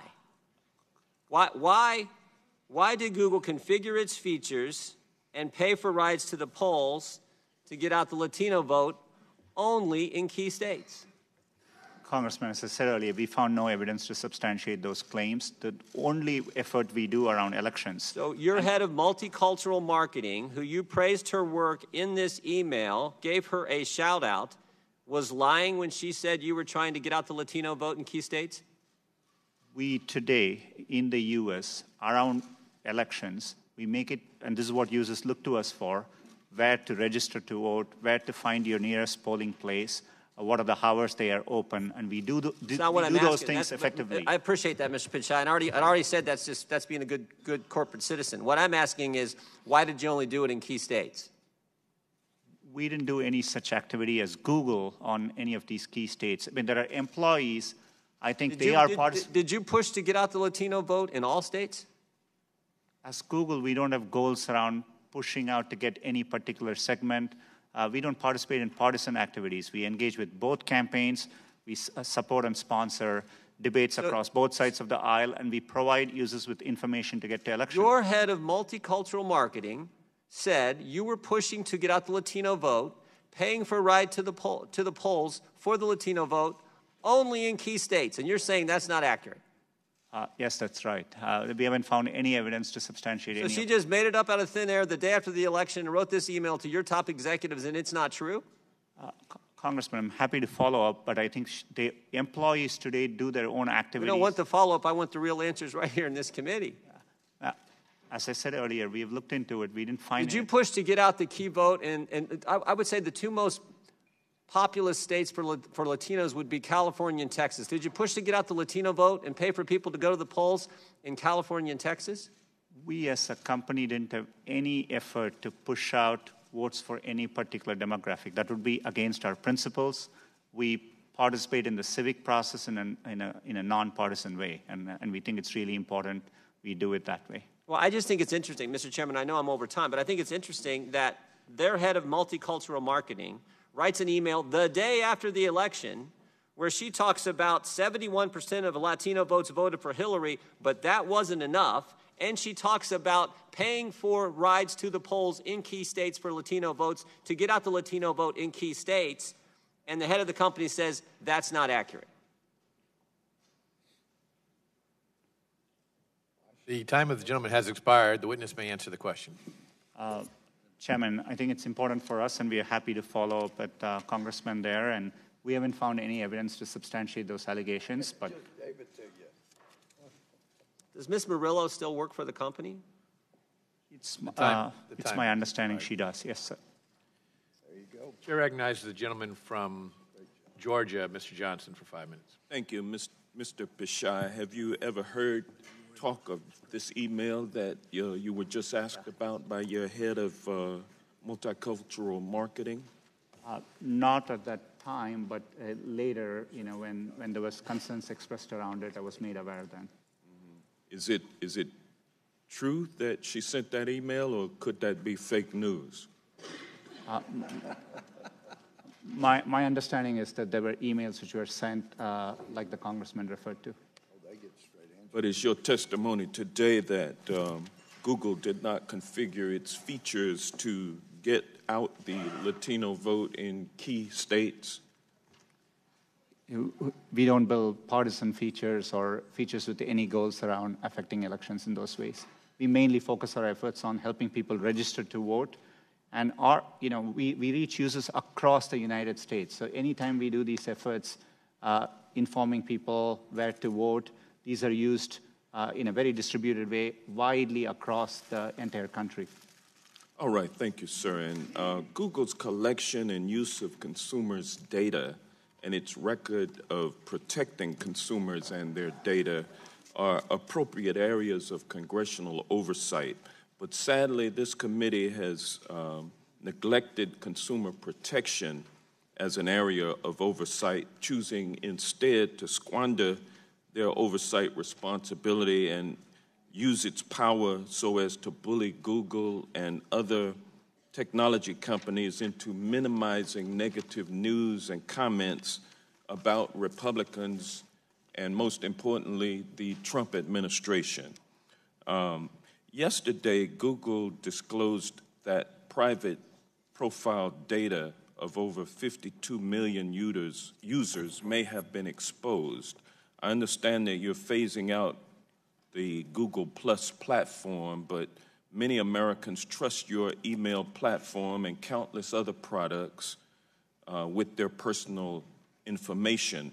And you admit that you collect private data for use in advertising. How can we be assured, considering this new breach, that the personally identifiable information of consumers is safe with you? Uh, Congressman, it's an important question. Uh, this is why we undertake all these efforts. We do operate important products like Gmail. Uh, the reasons, you know, building software inevitably has bugs associated as part of the process. We actually undertake a lot of efforts to find bugs, and so we find it, we root it out, and we fix it, and that's how we constantly make our systems better. And you know, the biggest area of risk we normally you know we see for our users is around security, that uh, you know their account gets hacked or something. That's why we work hard. Gmail is an area where we have invested a lot. We have an advanced protection program. I would encourage members of the Congress to sign up for it if you're using Gmail. It, it allows a second layer of protection to your account, which makes it uh, you know much much harder to uh, get your account uh, you know uh, misappropriated in any way. All right, thank you. Uh, yesterday, the New York Times pub- published an in depth investigation of your location tracking applications uh, that sell purportedly identified, or excuse me, personally identified data. Uh, Google has said that it doesn't sell data, but as a corporation deeply involved in the business of consumer data use in advertising, your company benefits from applications that track consumer locations. How do you differentiate what Google does with geolocational data from companies with applications that track and sell the data? as a company, we do not sell user data. Uh, that would be against our uh, principles and how we. Uh, well, how know, do you differentiate what you do with the geolocation data from companies that do sell the data, how do you um, how do you uh, differentiate what you do with that data uh, versus uh, what these applications that do track and sell the data do? An important uh, source of differentiation. We, we do not and would never sell user data. Uh, we do give consumers preferences about how their data is used for advertising most of our user experience, our, uh, we make our advertising relevant based on the keywords you type in. Uh, that's where we get uh, most of our information. We do. You can just type in, control your ad settings uh, into Google, and you can actually change ad, you know, the use of your personal data for advertising as well. We allow that as an option for our users. As my time expires, let me ask you, do you believe Google has done enough to be transparent in its data collecting policies? You know, we, we always think there is more to do. It's an area which is going to be an ongoing area of effort for us. but we have invested a lot over the years, and we do make it uh, very transparent, and we encourage users to go check it out. And in fact, every day, 20 million users go and check it. And over the last month, around 170 million users did uh, check it. But we're going to continue and invest more in this area. Thank you. I yield back. The chair recognizes the gentleman from Texas, Mr. Poe, for five minutes. Thank you, Mr. Chairman. I'm over here on this side. I have an iPhone. And if I move from here and go over there and sit with my Democrat friends, which will make them real nervous, does Google track my movement? Does Google, through this phone, know that I have moved here and moved over to the left? It's either yes or no. Not by default. There may be a Google service which you've opted into use, uh, and if so, Google knows that I am moving over there. It's it's not a trick question. You know, you make hundred million dollars a year, you ought to be able to answer that question. Does Google know through this phone that I am moving over there and sit next to Mr. Johnson, which would make him real nervous. It's his question. It's yes or no. I wouldn't be able to answer without looking at. Uh, you can't say yes or no. Uh, without knowing more details, sir. If I walk over there and sit next to Mr. Johnson and carry my phone, does Google know that I was sitting here and then I moved over there? You're welcome anytime, Judge. yes or no? I genuinely don't know without knowing I'm what shocked services. you don't know. Uh, I, think Google obviously does. Are you familiar with the General Data Protection Regulation by the European Union? Uh, very familiar. We worked over 18 months on it. And the European Union is protecting the right of privacy of the people in Europe. We don't have such a law in the United States, do we?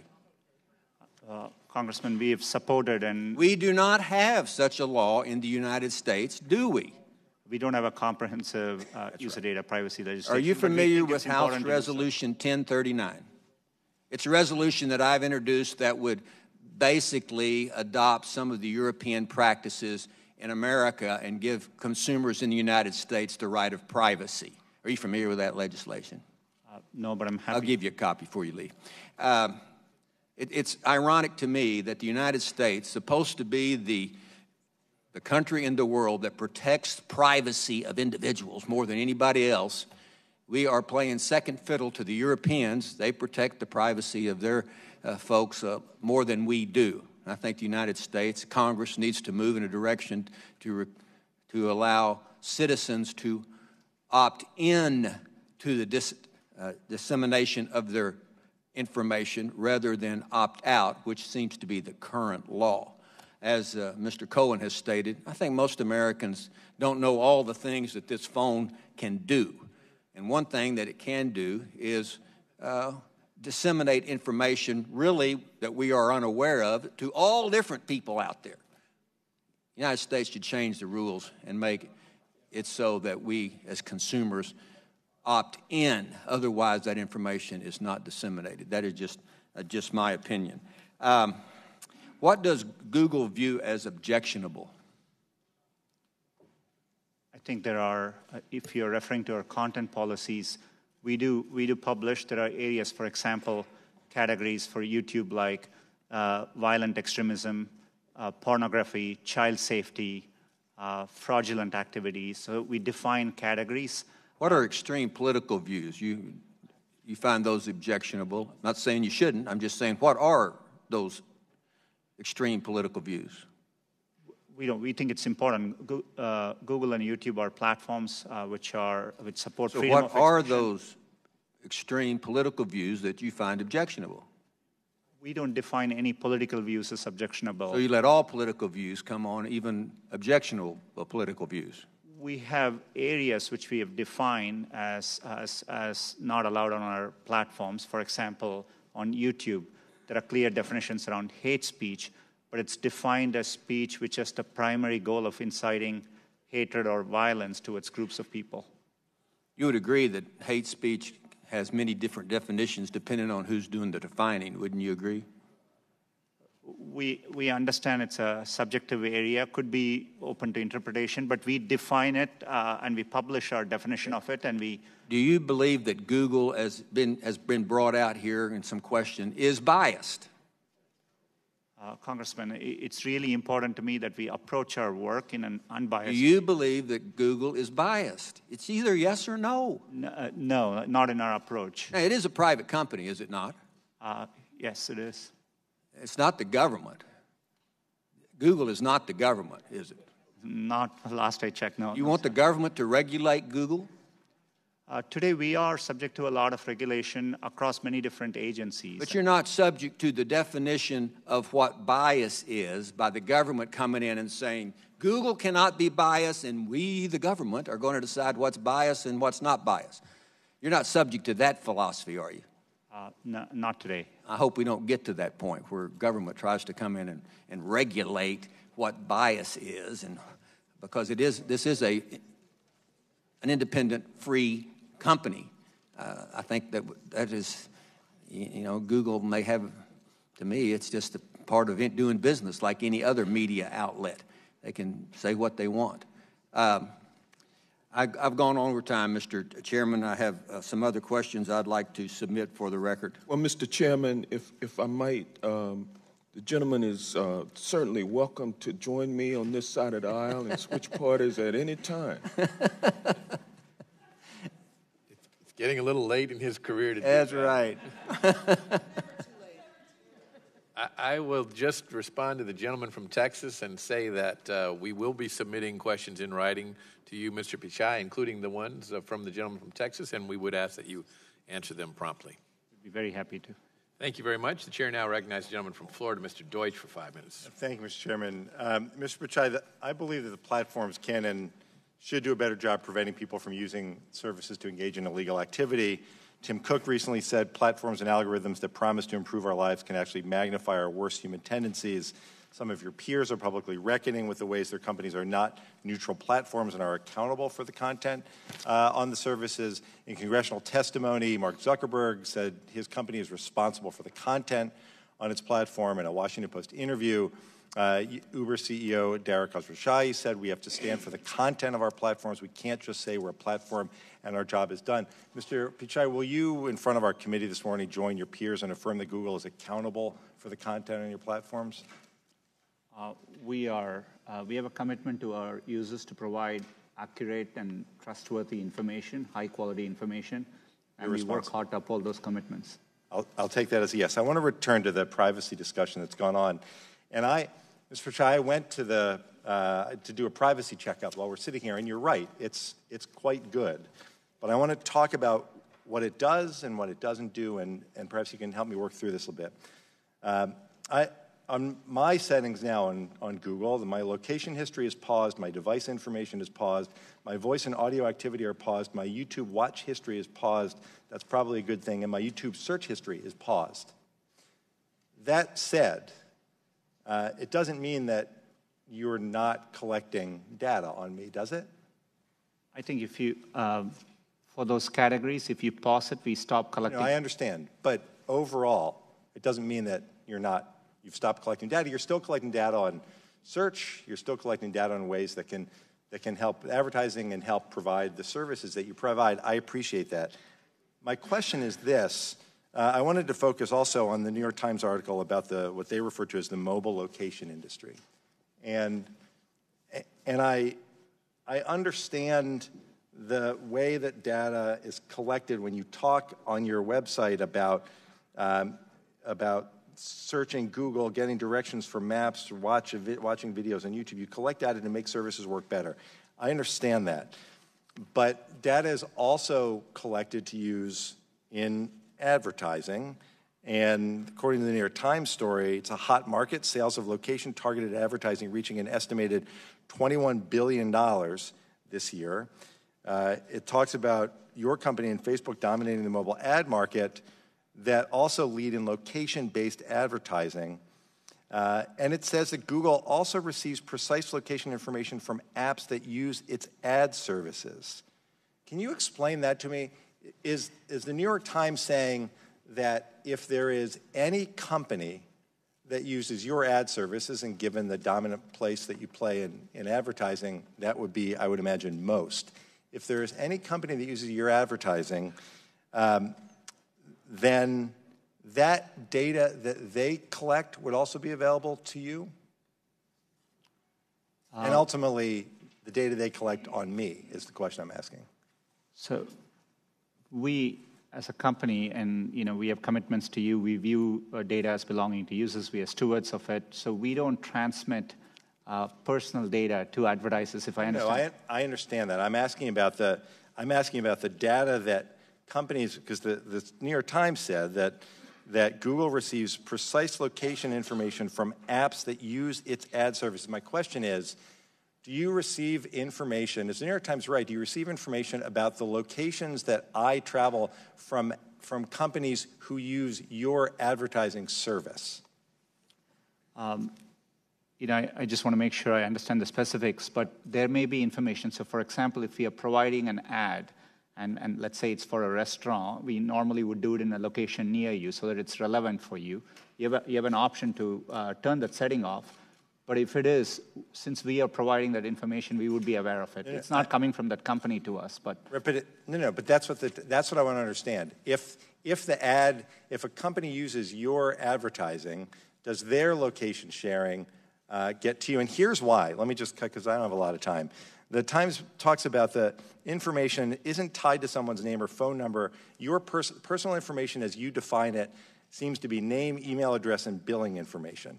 The question a lot of us have, Mr. Pichai, I think you can sense, is that while that may be personal information and you treat that uh, and you treat that the way we would expect, that there is a lot of information about where we go and where we are at any moment that can, as the Times points out, allow someone with access to the raw data, including employees or clients, to identify a person without their consent by following someone they knew, pinpointing a phone that regularly spent time at that person's home address.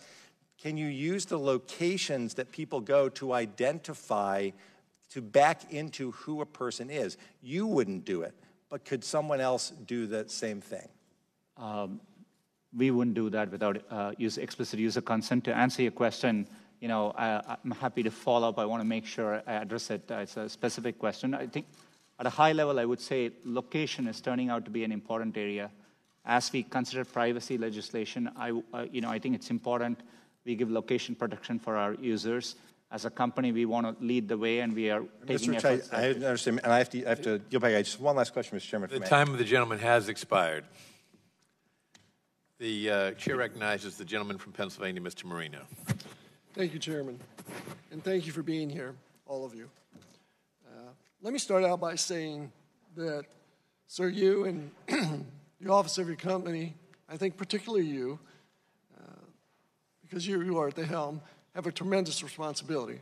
Responsibility towards your employees, uh, responsibility towards your stockholders, to your company, providing jobs, and we thank you for providing jobs. But I think you also have a, a much more awesome responsibility to the American people to make sure that uh, you educate accurately, to make sure that you stay in the middle of the road, because I've learned this over the years as a prosecutor and more so as a member of Congress. There is a lot of people who believe everything that's put out by anyone. Uh, we, we're a 10 second uh, society now, and uh, we can't hold conversations. We can only read you know, 10 or 12 words, and that's supposedly the gospel. You have a responsibility to see that the truth is out there, and I will hold you to doing that. I don't believe in uh, government uh, taking control or defining, as my friend the judge says, uh, what is uh, right and what is wrong. I, for one, the less federal government in my life, the better. So I am depending on you and companies like your company to help us along the lines because if the federal government does ever step in to regulate, you're not going to like it. And with that said, I have a concern concerning China. Uh, in 2010, Google left the Chinese marketplace due to concerns over hack, hacking attacks, censorship, and how the Chinese government was possibly gaining access to data. I'm interested in what has changed since 2010 and how working with the Chinese government to censor research results are part of Google's core values. Do you understand my question? Congressman, uh, we right now there are no plans for us to uh, launch a search product in China. Uh, we are, in general, always looking to see how best it's part of our core mission and our principles to try hard to provide users with information. We, we always have evidence based on every country we have operated in. Us reaching out and giving users to more information has a very positive impact, and, and we feel that calling. But right now, there are no plans to launch in China to the extent that we, uh, we ever uh, you know, approach a decision like that, uh, I, I will be fully transparent, including with policymakers here, and, and engage and consult widely. Am I then to understand that there's, you have no plans to enter into any agreements with China concerning Google, uh, how it's used uh, in China? we currently do not have a search product there, and so you know. Do you plan on having a search product there? Right now, there are no plans to uh, launch a search product in China. Okay, let, let me ask it this way. If in the future you decide uh, to do that, uh, what information would you share with the Chinese concerning uh, other users, other countries? anytime we look to operate in a country, I mean, we, we would, uh, you know, we would look at what, what the conditions are to operate. There are times in the past we have uh, debated the conditions uh, to operate, and, and we explore a wide range of possibilities. Currently, it is an effort uh, only internally for us. The, we, we are not doing this in China, and so, you know, uh, but I'm happy to consult back and uh, be transparent to the extent we plan something there. I'm sure you are aware that right now there are thousands, maybe hundreds of thousands of uh, people that the Chinese government has on computers trying to hack in the U.S. and any other countries. Same thing taking place uh, to a lesser degree uh, in in Russia, simply because of the population. Uh, what what can Google do to um, help curtail that, if not eliminate, uh, countries from hacking into other countries? As a company, we have faced uh, significant uh, attacks before. So, you know, protecting the security of our users is what really keeps me up at night. And uh, it's something we invest a lot over the years. We work with law enforcement because we rely on their intelligence to help us assess threats. But it's a comprehensive effort, and, and it's something we take seriously. Thank you. I yield back. But remember the responsibility that I think you have. Chair recognizes the gentlewoman from California, Ms. Bass, for five minutes. Thank you, Mr. Chair, and thank you for uh, coming today. I wanted to follow up on some questions that were asked uh, of you earlier, uh, specifically the use of bots by authoritarian regimes and uh, also the use of troll farms uh, by Russia, and wanted to know if you could be more specific in terms of how Google is going to uh, respond. In other words, will you expand your staff or modify the algorithms in an effort to identify and, and eradicate the online trolls? And then, in terms of the uh, flooding that takes place with bots, what specifically will you do to address this? This is something uh, we actually face across the set of products we do today, uh, be it our ad systems, uh, be it our search products people are trying to spam, and be, be it YouTube and so on. So, in general, we have built systems over the years to detect anomalous traffic, patterns and, and, and mitigate that. And uh, we also learn, we collaborate with others. Law enforcement has been very helpful to us in this regard. So if, there, so if the example of the, um, of the bots where you have, I mean, I saw one example where there was one day 125 dislikes and the next day there were 84,000. How do you respond in a situation like that where it's obviously it's done uh, purposely? So when we see view count manipulation, manipulation of likes, dislikes, and either we get reports or we detect in our systems spikes in those activities, which uh, you know, which make it clear that it's it's not humans doing it. Uh, you know, we detect it, we treat it as spam or abuse of our systems. So you have staff dedicated to looking at that? Yeah, both. We have our uh, algorithms, AI systems, and manual reviewers uh, and, and we are staffing up our manual reviewers uh, significantly over the past couple of years. And so we do it comprehensively across all those things. So, anticipating um, what took place in 2016 happening again, and, and this is specifically regarding um, what Russia did to foment racial tensions in the United States, and wanting to know how you are responding to that, where they called for, you know, fake protest, uh, either to get African Americans to turn out to protest something that was fake, or to have uh, white supremacists uh, be ginned up to attack communities of color. So, specifically, what is Google doing to respond to that? we mainly saw, uh, with respect to Russia, uh, limited improper activity on our uh, ad platforms. But in general, uh, we, you know, we are not a social networking company across the products we do. It's an area we haven't done well as a company. So we typically aren't connecting groups of people, and that's not how Google mainly works today. And so we haven't seen that kind of activities on our platforms. But we are vigilant and, you know, and happy to share any findings which come through as we look into it more. So I also wanted to ask you a couple of questions about uh, online creators of color, um, where mainstream media outlets often fail to cater to communities of color with relatable content or resolve lingering issues of underrepresentation or misrepresentation. Communities of color have sought out digital mediums to tell their stories, and in some cases, this has been very successful, and it's led to larger networks recognizing the talent. And in other cases, it's given a platform to voices that would otherwise be silenced. So I wanted to know uh, what policies Google might be developing to put in place to ensure that the voice of online creators uh, can expand.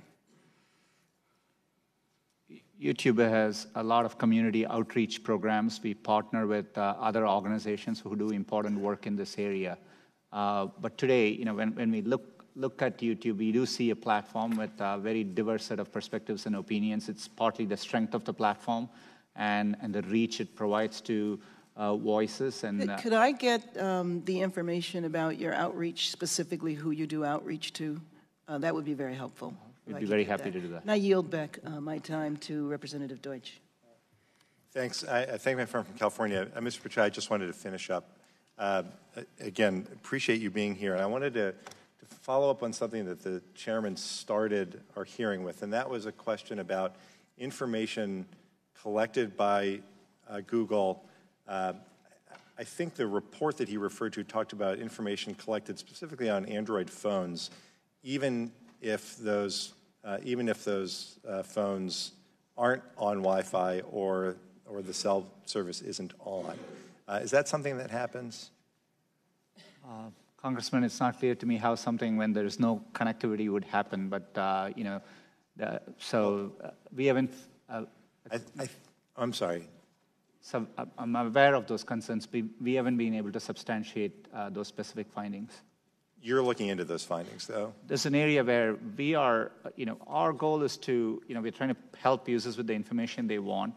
Today, there are many cases. Users give us feedback. Uh, part of part of what we're trying to do is they want us to be location right. aware when they get there. No, I, I understand, but but you're not aware of data being collected while the phone is not connected to, to either cell service or Wi-Fi.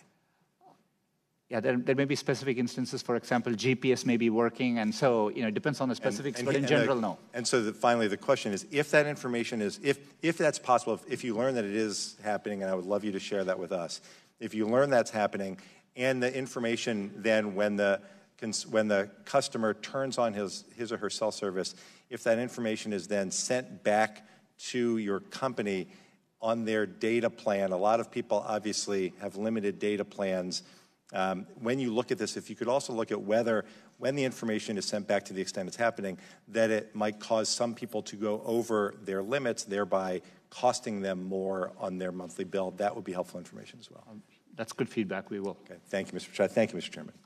Chair recognizes the gentleman from Georgia, Mr. Collins, for five minutes. Thank you, Mr. Chairman, and thank you, Mr. Shaw, for being here. I, look, there is an understanding, I think it's come across from everyone here, and it's a, it's a saying that I've sort of lived by most of my adult life, and I think most people get. Perception is reality. Now, you can disagree with the perception, you can disagree with the reality, but at a certain point in time, as you've even heard from the, many of the folks discussing on both sides of the aisle today, there's several perceptions that are going on on what's being stored, what's not being stored, and how that is, uh, or how that data and that privacy issue, and also the effects or the outcomes of the uh, searches are made.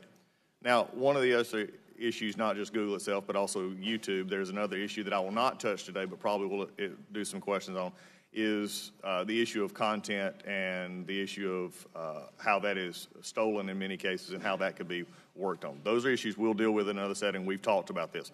But I want to go through several questions because it's been discussed a lot about what you collect and what you don't collect. So the next few questions will be yes, no questions. They're not, I'm not trying to trick you here. It's simply what do you collect and how do you collect it, okay? Um, in dealing with uh, Google, do you or do you not collect identifiers like name, age, and address? Yes or no? If you're creating an account, uh, yes, and using an account, yes. Yes. Specific search histories when person types something into a search bar. If you have search history turned on, yes. Device identifiers like IP address or IMEI. Uh, depending on the situation, we could be collecting it, yes. GPS signals, Wi Fi signals, Bluetooth beacons. You know, would, would depend on the specifics, so, but there may be situations, yes. GPS, yes. Uh, yes, if you have location. voice and conversations when using Google Voice products. We give an option to turn on or off, and But if, but if, if a person didn't know it, voice and conversations when using Google Voice products. uh, we only record when they initiated with uh, OK Google and then say the terms after. Contents of emails and Google documents. We store the data, but we don't read or look at G- your Gmail. But you have access to them. Uh, as, a, as a company, we have access to them, yes. So you could. Saying you don't or don't. I'm not asking do you or don't. I'm saying you could, though there is a possibility. We have clear established policies uh, on how we would do that data. And their privacy policies, speaking of that, has changed 28 times, including eight times since January 2016. So I think the policies, you know, and this is why I'm asking these questions. Is there any type of or, any type or origin of data which Google would refuse to collect that is not already prohibited by laws like COPPA or HIPAA? And there are many categories of uh, information today. You know, we are particular about uh, anything to do with health data. Uh, those are covered under those. Anything that you would not collect outside of the two that I named, which are generally accepted as things you cannot collect. There are, there are many things which uh, we, we don't collect. For example, we don't collect, uh, you could have a product like Google Home, we won't collect conversations unless you specifically ask us to. So you ask a question. And so we definitely are very careful and minimize the data we need to, to provide the service back to our users. I'm glad you mentioned data minimization. We'll get to that in just a second. How long do you keep the data that you have captured? Uh, today we give you the choice of whether you want to store the data or not, but if you store the data, from the time you turn it on, we store it for you. Okay, well, let, let me ask a question here. For all this has been discussed, age identifiers, search histories, all these things, and for the, how many would you say, let me just say, you, you've interested, made an interesting question. How many people actually understand that they can actually cut this off? You know, we remind, remind people, and every day 20 million people come and make changes in these settings. We see robust when activity. you control 95% of searches, you control this in a very large way. I would say the vast majority, not the most sophisticated, not the ones in a certain age demographic, are not as familiar with this as, say, some who work in the industry or at least around the industry. Would that not be a fair statement? If you could repeat that, Congressman, sorry. I'll get back to it. Earlier it was said that identifiers such as age, name, and address are treated differently. If that is true, how are you treating them differently? And is the same data collection process still done? How is it treated differently than maybe some of these others that we have spoke of? That came, I think, from Mr. Deutch's discussions, such as locators and things like that. We, we offer different controls for that. So, for example, for location, we give specific controls. For your voice voice activity, we give specific controls. Uh, we are trying to meet users' expectations. And so, for example, some people may want their uh, search history to be available, uh, but they don't want YouTube history to be recorded. So we give those choices to our users. One of the general dynamics of most of the tech industry and those who collect data is data minimization. You brought it up just a few minutes ago. The issue that I have, and it was in March of this year, a security researcher actually downloaded his quote Google Takeout. Uh, this is probably there.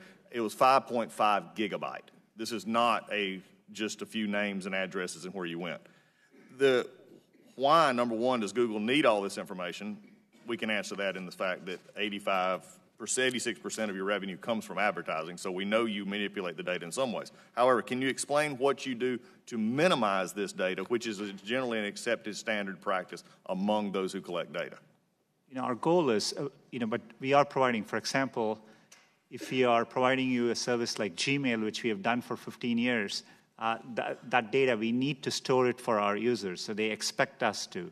So we are trying hard to match users' expectations. We don't need, you know, our data for advertising, as I said earlier, most of it comes from just the keywords you type. And so, you know, we need minimal data to do advertising. We give you options to turn ads personalization off.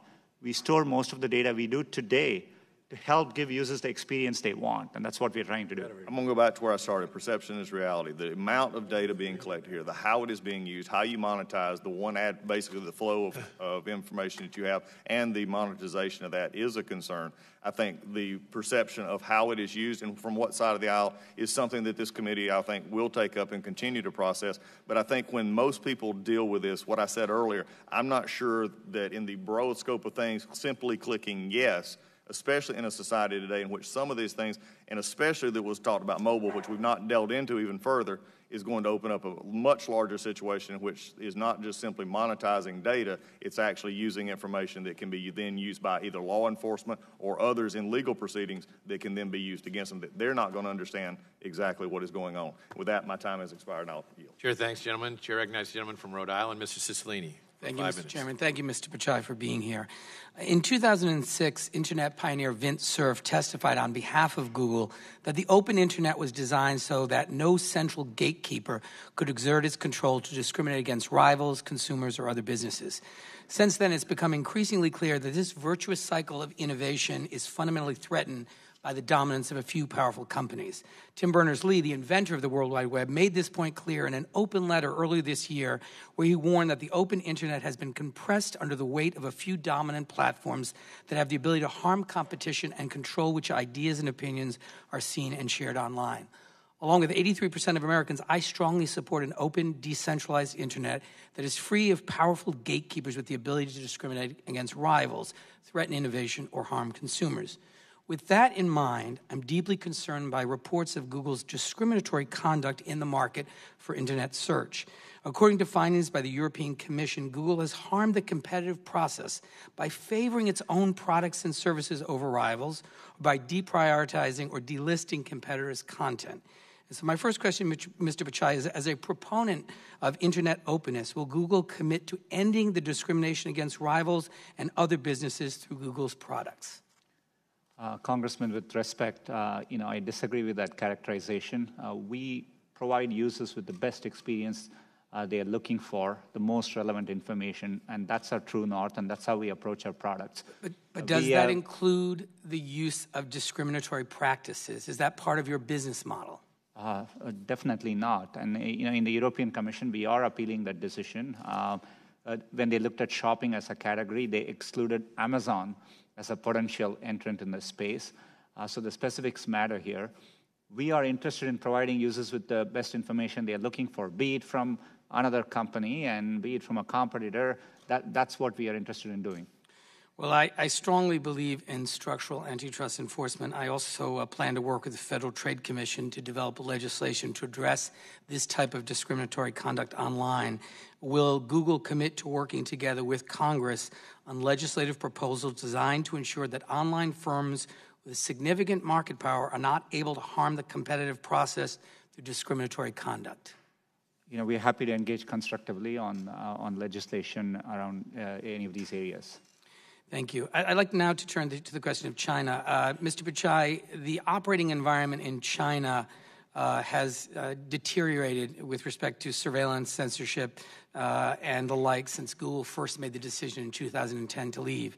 Uh, in September, I sent you a letter along with 15 other colleagues raising serious concerns about reports that Google is planning to re enter the Chinese market with an app based search engine that would likely have to comply with strict censorship and surveillance requirements imposed by the Chinese government.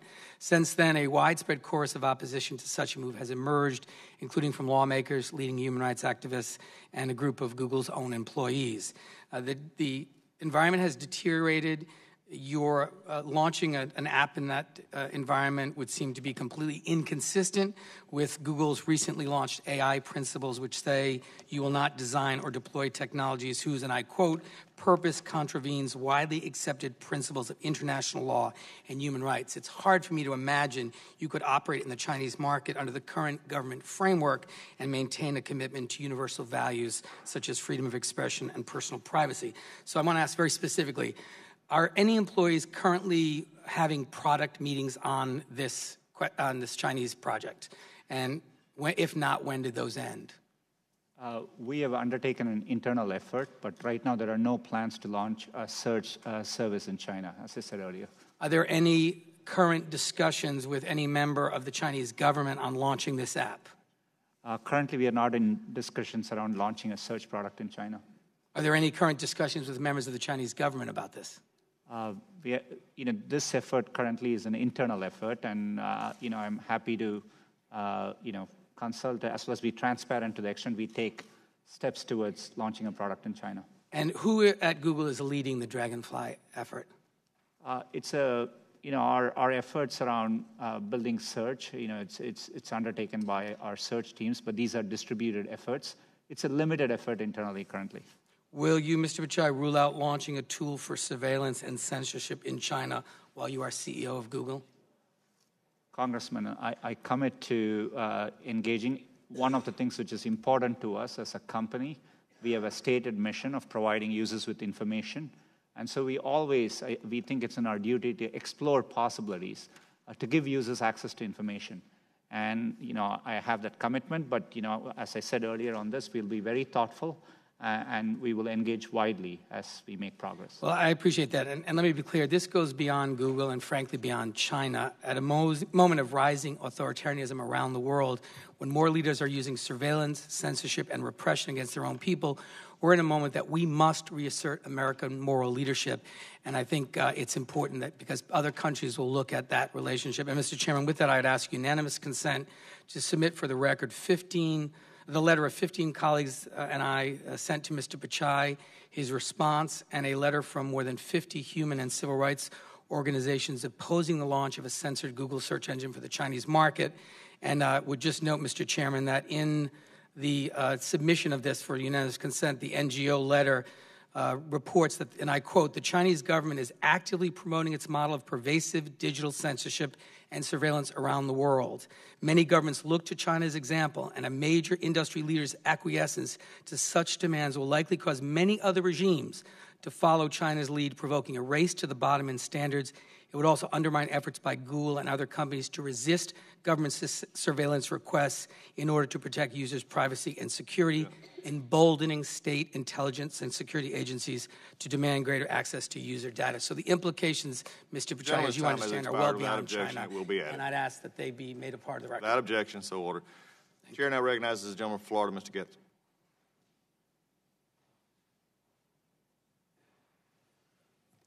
Thank you, Mr. Chairman. Have you ever launched an investigation into whether political bias is impacting the consumer experience? Uh, Congressman, we, we do, it, it, to the extent there are concerns, we look into them and, you know, no, have, you, have you expressly launched an investigation into political bias of your employees? Uh, on our employees, you said? Yes. Uh, you know, to, to, the extent, you know, we always take, uh, we take any allegations around code of conduct across every issue seriously and we look into them you said to, to me yesterday that in, as it relates to political bias, you haven't launched those investigations because there are so many redundancies and there is so much peer review that that would not be possible. Is that still your testimony today? Uh, Congressman, yes, it's, it's the, the, way our processes work. If you need to make a change in our algorithms, uh, there are several steps in the process, including launch committees and and user testing and our rater guideline evaluation. But at your company, your employees can get together and chat in groups, right? Google groups? Uh, yes, they can. One of those groups is the civil rights group, right? We have uh, many employee resource groups on which they can participate in conversations, yes. Have you ever looked into the conversation into the resist group? Uh, Congressman, no. Is it, does that strike, is that a surprise to you that there's a resist group? I'm not aware whether such a group exists or not. If there was a resist group, would that be the type of thing that you would want to look into?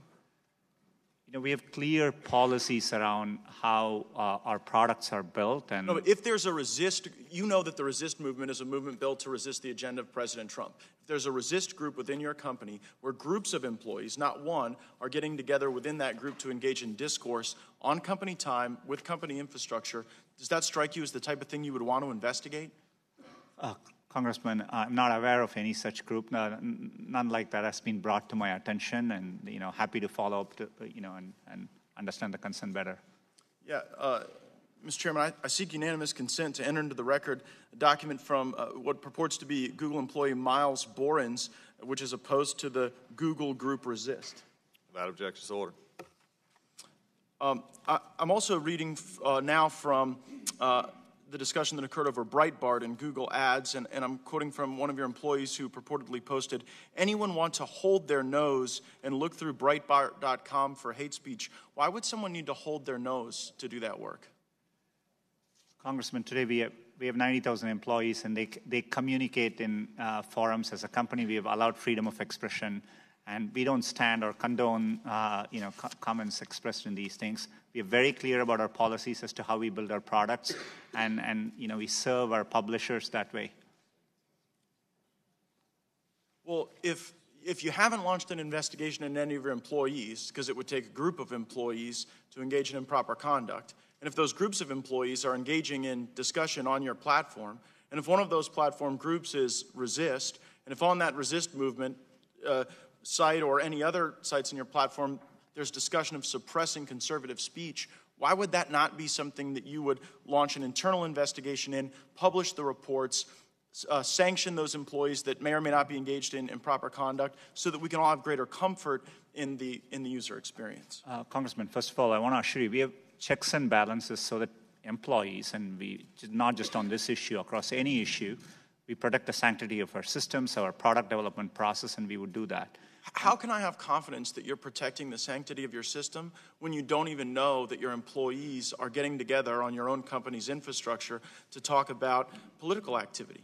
In general, we always assume uh, our systems are designed, we assume there could be bad intent. So we've designed from first principles because, you know, for security reasons, both externally and internally, at any given moment, we, uh, we assume that somebody may be acting in bad faith. And and that's how we have designed our systems with all the protections in place. We need to do that for our security of our systems, and it's a first principles approach. So, if your assumption is that people can act in bad faith, why then have you not launched an investigation into the communications that seem to indicate a desire to suppress conservative political movements and conservative voices? Well, if there are allegations around you know, discussions which are specific with the intent of manipulating our products, we would conduct uh, an investigation. Okay, well, that, that's good to hear. The Wall Street Journal reported that your workers were discussing tweaking search terms to uh, frame the discussion over the travel ban. Did you perform an investigation into that allegation?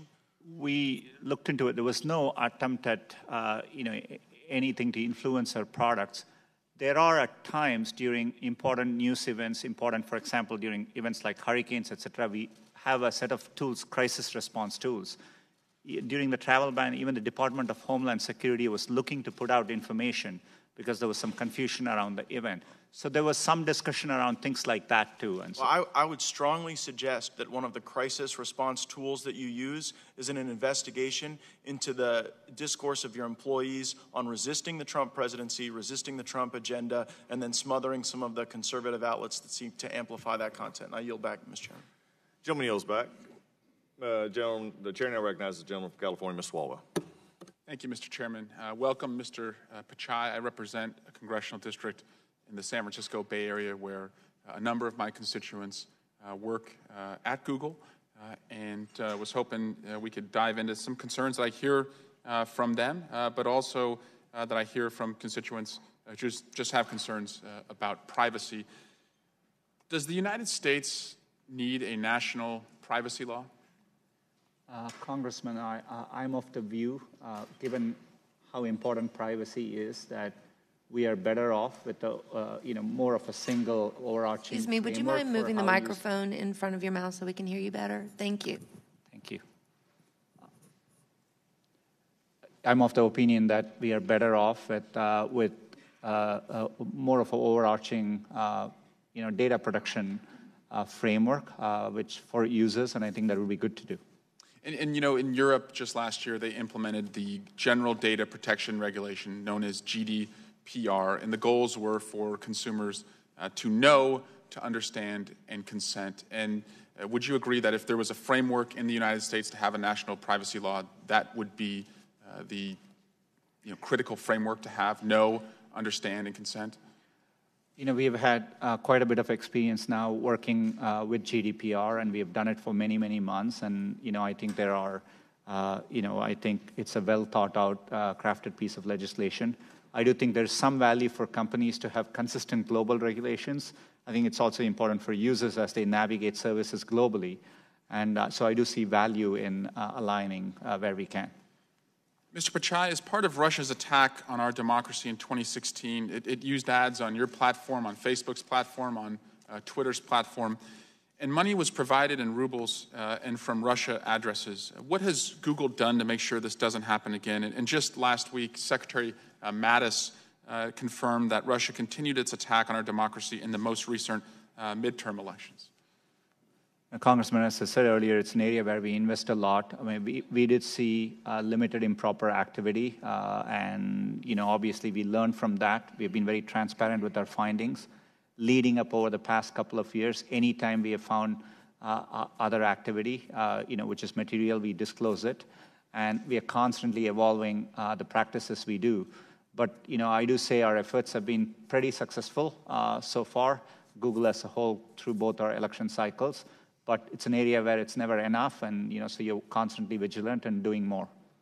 Mr. Pichai, I don't think anyone disagrees that seeing an answer on a results page for certain queries can be useful. For example, if I type in, you know, what is 25 times 15, and Google spits out 375, that's useful.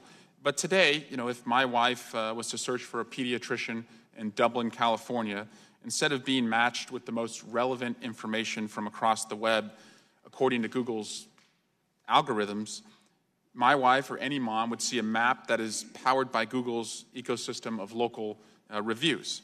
Uh, and in response to claims that Google has put its own results ahead of its competitors uh, when its PageRank algorithm believes the competitors should be ranked higher, Google has told certain international enforcers that local search results come from a specialized index, which is distinct from its organic web index. And I was hoping today you could clarify for me is it technically possible for Google to compare local business content it collects against that of content collected by third party services using a PageRank like quality score?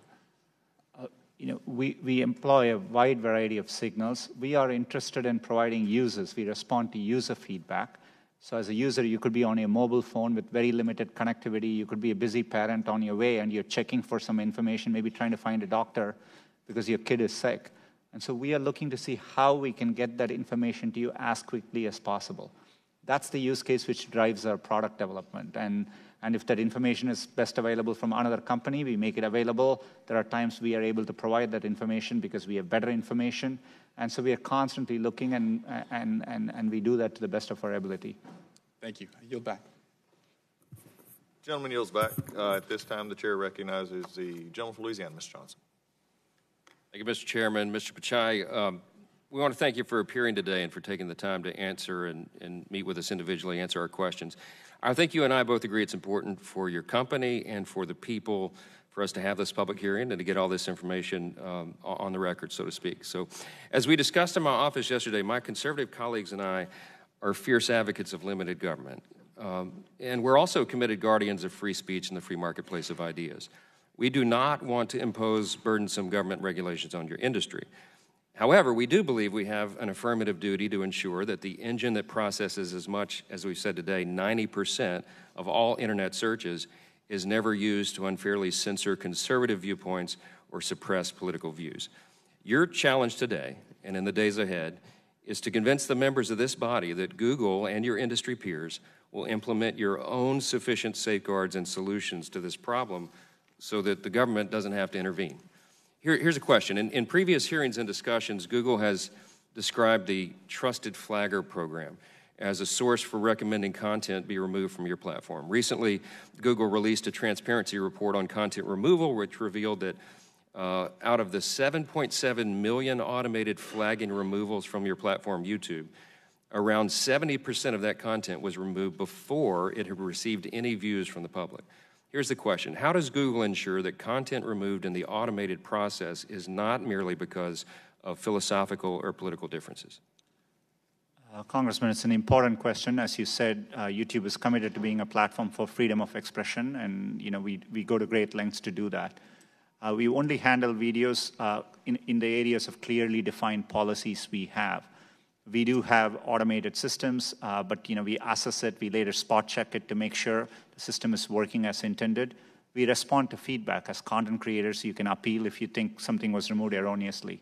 But it's really important to us that uh, we, we, we provide a platform for freedom of expression, but enforce the rules of the road on areas where we have said, and but we are very transparent about the areas and the clear policies with which we do those things. You've spoken a lot today about objectivity. That's the goal. We applaud and appreciate that.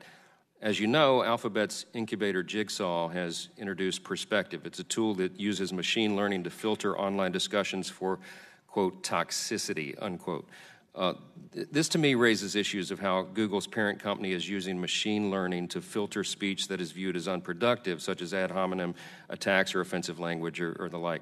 When creating a tool like Perspective, what steps is Google taking to protect conservative viewpoints from being considered toxic by subjective reviewers as the program progresses?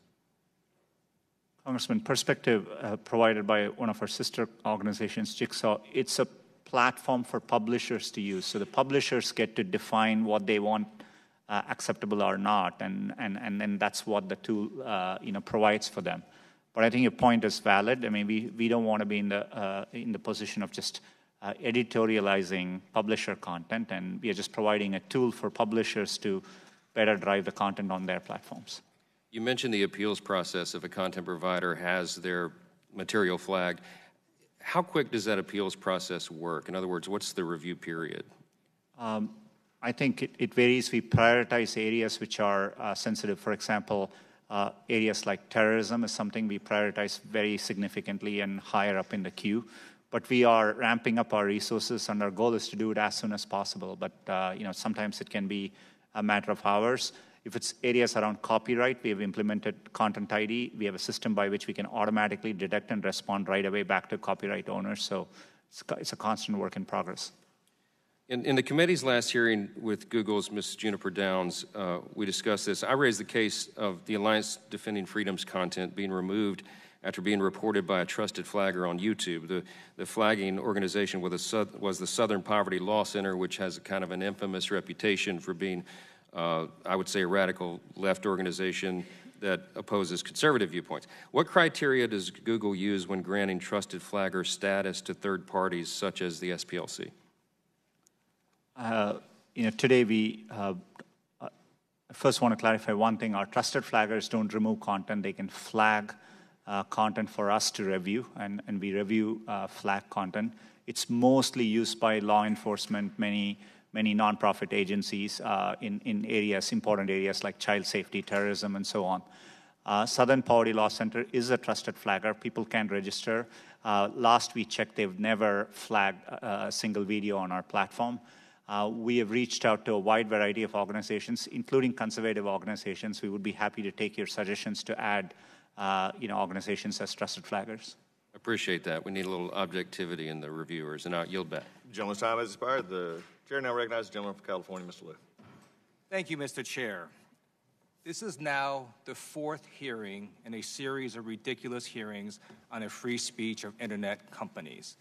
A significant portion of this hearing was a waste of time because the First Amendment protects private individuals and corporations' free speech rights. Now, there are things that Google does unrelated to speech that I disagree with. But when it comes to search algorithms, your prioritization, what videos you want to show, the First Amendment protects you. So I'm going to ask you a series of questions. Uh, some of them uh, are fairly basic, and I apologize, but I feel like I have to educate some of my colleagues on how the U.S. Constitution works, and feel free to answer yes or no. So my first question is, we here on the Judiciary Committee are the government, and Google is a corporation, correct? Yes or no? Yes. All right. The First Amendment limits what government can do in regulating the content of speech.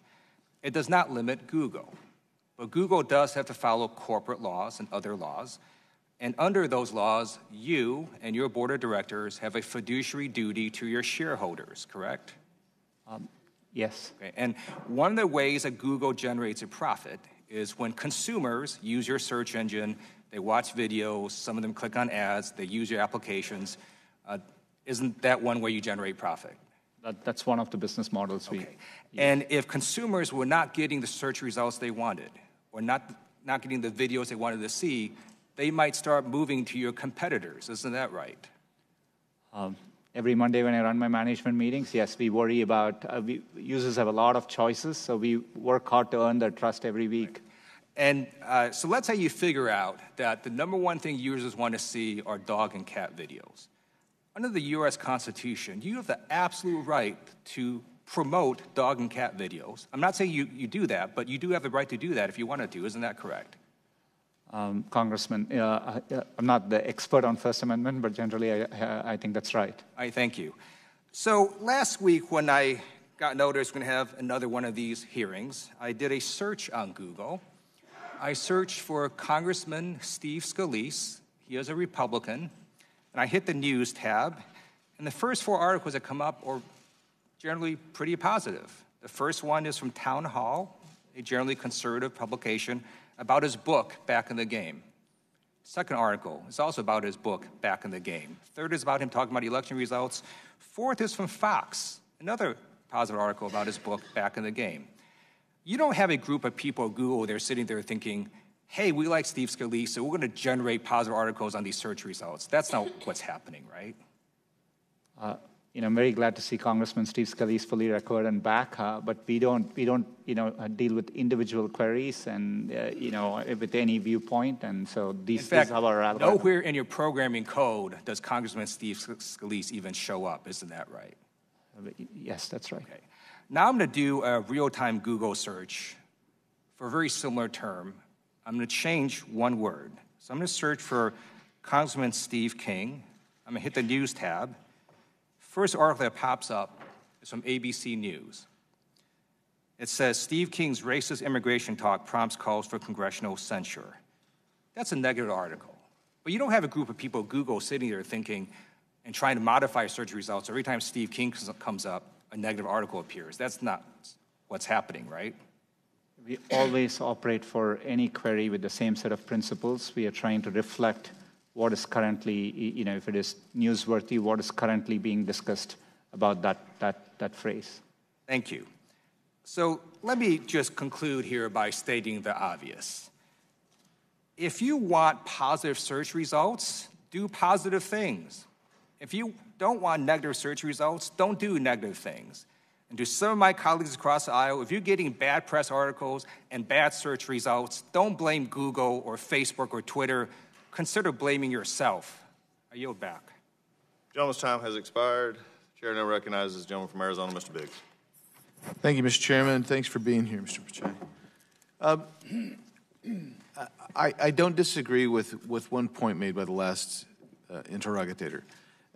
Inter- questioner. Let's call him questioner. That's easier to say uh, in, in, the sense that I think you have a First Amendment right to do what you guys want to do. So you're a private company.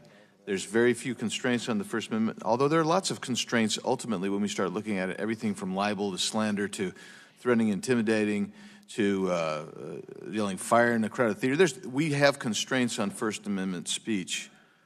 But you've seemed, as we've gone through here today, to say that Google doesn't have bias. You yourself have said you personally don't have bias or animus, and you've also tried to uh, implement policies to prevent bias and animus as well. Isn't that true?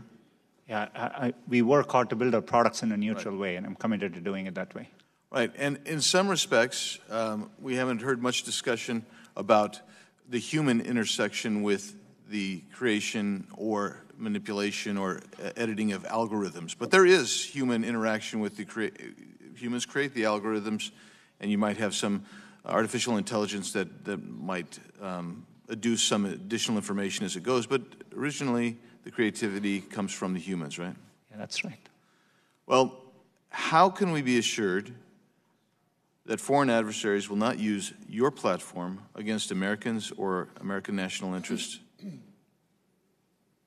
You know, we, we always worry about uh, uh, that, that as a threat vector, and this is why we make sure, uh, you know, the, the, best way we do it, when we are building our products, we don't rely on, uh, you know, uh, one person or groups of people to be able to do it.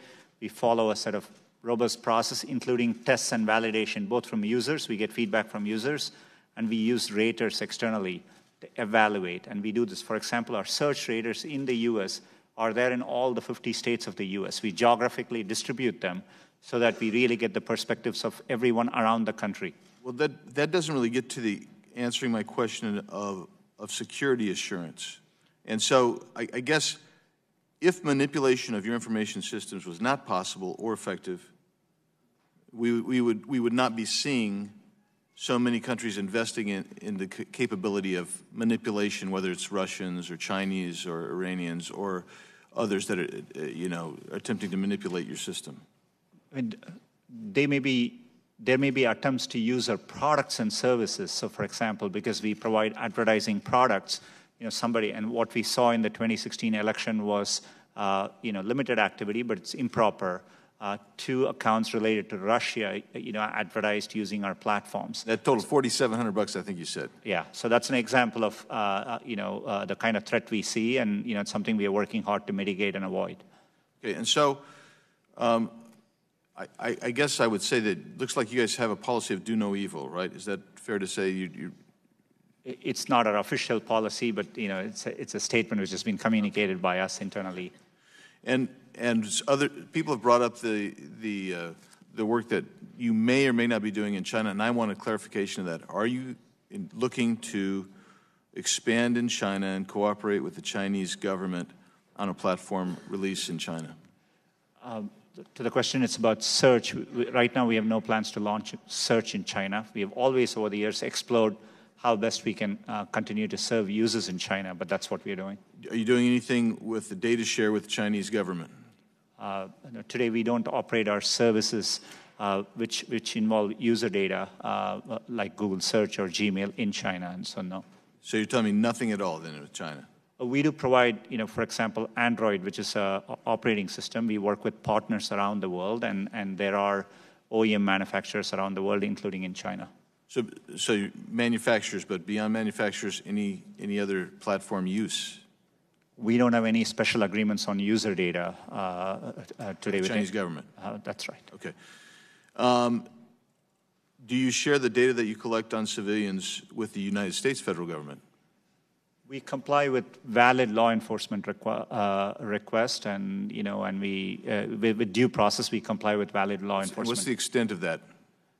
You know, we publish a transparency report in which we uh, give insights into the law enforcement requests we have gotten and our, uh, you know, and, and, our compliance there. The last question I have, real quickly. Um, in May 2016, Google banned all ads by payday lenders, even though it invested in LendUp, which is effectively a payday lender. Um, and it, it banned ads by, by competitors. Is that a normal practice?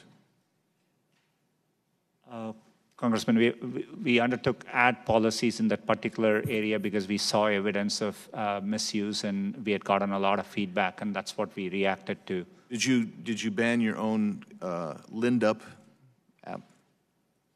I don't think Google is involved. I think one of our uh, sister companies is a, uh, you know has uh, has an investment in in LendUp. Right. Uh, I, I, think that's my understanding. Okay, was it banned? Gentleman's time has expired. I can follow up. I'm not aware of the specifics there. Happy to follow up. Thank you. Thank gentleman's time has expired. Uh, the gentleman from Maryland, Mr. Raskins, recognized. Thank you, Mr. Chair. Uh, welcome and thank you for your testimony today. Do you know what frazzle drip is? I'm not aware of the specifics about it. Uh, I heard some references about it from, our, from my team uh, over the past 24 hours. Um, I just learned about it in the Washington Post this morning. There's an article with this headline A Platform for Free Speech That Extremists Routinely Exploit. And in it, um, the article explains that the recommendation engine for YouTube, which, which is owned by Google, correct? Uh, yes. Yeah. The recommendation engine for YouTube recently suggested videos claiming that politicians, celebrities, and other elite figures were sexually abusing or consuming the remains of children, often in satanic rituals, according to watchdog group Algo Transparency. The claims echo and often cite the discredited Pizzagate conspiracy, which two years ago led to a man firing shots into a Northwest Washington, D.C. pizzeria in search of children he believed were being held as sex slaves by Democratic Party leaders. Um, one recent variation on the theory, which began spreading on YouTube this spring, claimed that Democrat Hillary Clinton and her longtime aide Huma Abedin had sexually assaulted a girl and drank her blood, a conspiracy theory its proponents dubbed frazzle drip. Now, the article goes on to describe how this frazzle drip conspiracy is all over YouTube. Um, and some of the frazzle drip clips purport to show grainy images of Clinton and Abedin committing crimes and speak of invoking the death penalty. One video, which has been viewed 77,000 times and remains online today, has a voiceover that says, Will these children become the dessert at the conclusion of the meal? So, um, and this is just one example that they use of uh, extreme right and paranoid conspiracy groups using YouTube as a place to trade their videos and to promote propaganda. Um, what is your company policy on that, and are you trying to deal with it? You know, we are uh, we are constantly undertaking effort to deal with uh, misinformation, but you know we have clearly stated policies and we have made lots of progress in many of the areas where, uh, you know, over the past year. So, for example, in areas like terrorism, child safety, and so on, we are looking looking to do more. Uh, you know, uh, th- this was uh, a recent thing, but uh, I'm committed to following up on it and and making sure uh, we are evaluating these against our policies. But yeah. it's an area we acknowledge there's more work to be done, and you know, and, and we'll definitely continue doing that. One of the videos discussed included images of a body on a table before restrained children and of Hillary Clinton with a bloodied mouth and fangs claiming that she and Abedin drank the blood of their victim. That was removed, but then another consisting of an exact copy of the video remained online, or apparently remains online. Um, so, uh, I mean, is your basic position that this is something you want to try to do something about, but basically there's just an avalanche of such material and there's really nothing that can be done, and it should be buyer beware or consumer beware when you go on YouTube? You know, we do grapple with difficult issues. I mean, we we have to look at it on a video by video basis, and we have clearly stated policies. So we would need to evaluate whether the video, the specific video, yeah. uh, violates any of our policies. And we do strive to do it uh, for the volume of content we do get. And you know, yeah. we get around 400 hours of video every minute. But it's our responsibility, I think, uh, to to make sure uh, you know YouTube is a platform for freedom of expression, but it's responsible and contributes positively to society. Some of my colleagues are upset about negative references to Donald Trump, not Hillary Clinton or not Barack Obama. And obviously, you know, one potential strategy today is to try to heckle you into somehow uh, playing favorites with Donald Trump and Republicans. Uh, I think that that would be a silly and ridiculous takeaway from this. On the other hand, there is material which is a true public danger. You know, you, have got a right to have whatever politics you have. I mean, we could we could subpoena Fox News and bring them in here and beat them up about how 90% of the references on Fox News to Barack Obama or Hillary Clinton are negative, but they've got that right under the First Amendment. You've got a right under First Amendment to have whatever political views you've got. But I think the point at which it becomes a matter of serious public interest is when your communications vehicle is being used to promote propaganda that leads to violent events like uh, the guy showing up within the Pizzagate conspiracy case.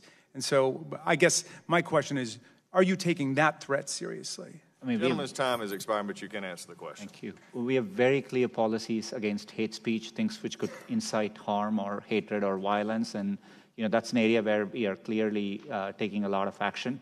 But I, I want to acknowledge there is more work, uh, more work to be done, and you know, with our growth comes uh, more responsibility, and we are committed to doing better as we uh, invest more in this area. Thank you, Mr. Chair. Thank you. Uh, the chair now recognizes the gentlelady from Georgia, Ms. Handel. Thank you, Mr. Chairman. Thank you very much for being here, Mr. Pichai. Uh, for years, the Federal Trade Commission, on a bipartisan basis, um, has affirmed that precise geolocation information is considered highly, highly sensitive, and that consumers must opt in to that. Um, do you agree with that? Uh, yes, I agree with that. Do you think there's other information, privacy information of consumers that should also be required to have opt in versus opt out? In general, I think a framework uh, for privacy in which users have a sense of transparency, control, uh, and choice, and have clear understanding of the trade offs they need to make, I think is very good for consumers, and we would support that. Okay. Um, and speaking of privacy and transparency, I'm trying to understand the difference between um, a paying customer for the Google Suites versus the free Gmail. So, when it comes to data collection, are the um, criteria and the rules the same if you're on Google Suites versus Gmail? Um, Gmail, uh, uh, Google Suite is a, a, broader suite of products than Gmail alone. Uh, you know, we have very specific policies, policies around Gmail in general. We don't, uh, as a company, we don't read your Gmail unless we have express consent from you, for example, to investigate security or abuse related to an account. On G Suite, uh, we provide G Suite across many instances. We have clear policies against that too. We don't use. Right, but what I'm asking is, are the policies different? Uh, we don't distinguish between, uh, so for example, today we provide G Suite uh, for free to many educational institutions. We don't use that data for, uh, from within G Suite for advertising. Uh, you collect it? Uh, well, we store, you know, G Suite involves user documents, be it mm-hmm. documents or Gmail. So we store it for the, for the user so that they can access it. And no one in your company has access to it? people or they do have access. We have policies that they cannot access it unless they have specific consent from the user for a specific situation. What would be one of those reasons? For example, you may want to investigate uh, fraudulent activity related to your account, and you know we, we may ask for your permission to do, th- do that. There may be a valid law enforcement requirement uh, which we have to comply with. All right. I'm going to go back to uh, Google Takeout, um, which uh, my colleague from uh, Georgia asked about earlier.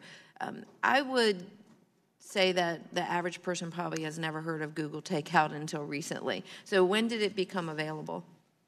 You know, we we we started this effort. Uh, you know, I'm aware of it as early as over 10 years ago, and we started building for many of our products. Uh, we started an office in Chicago with the express goal of providing users with this takeout capabilities. I think we were quite unique in starting to work on that as a company, uh, but there's more effort we plan to do there.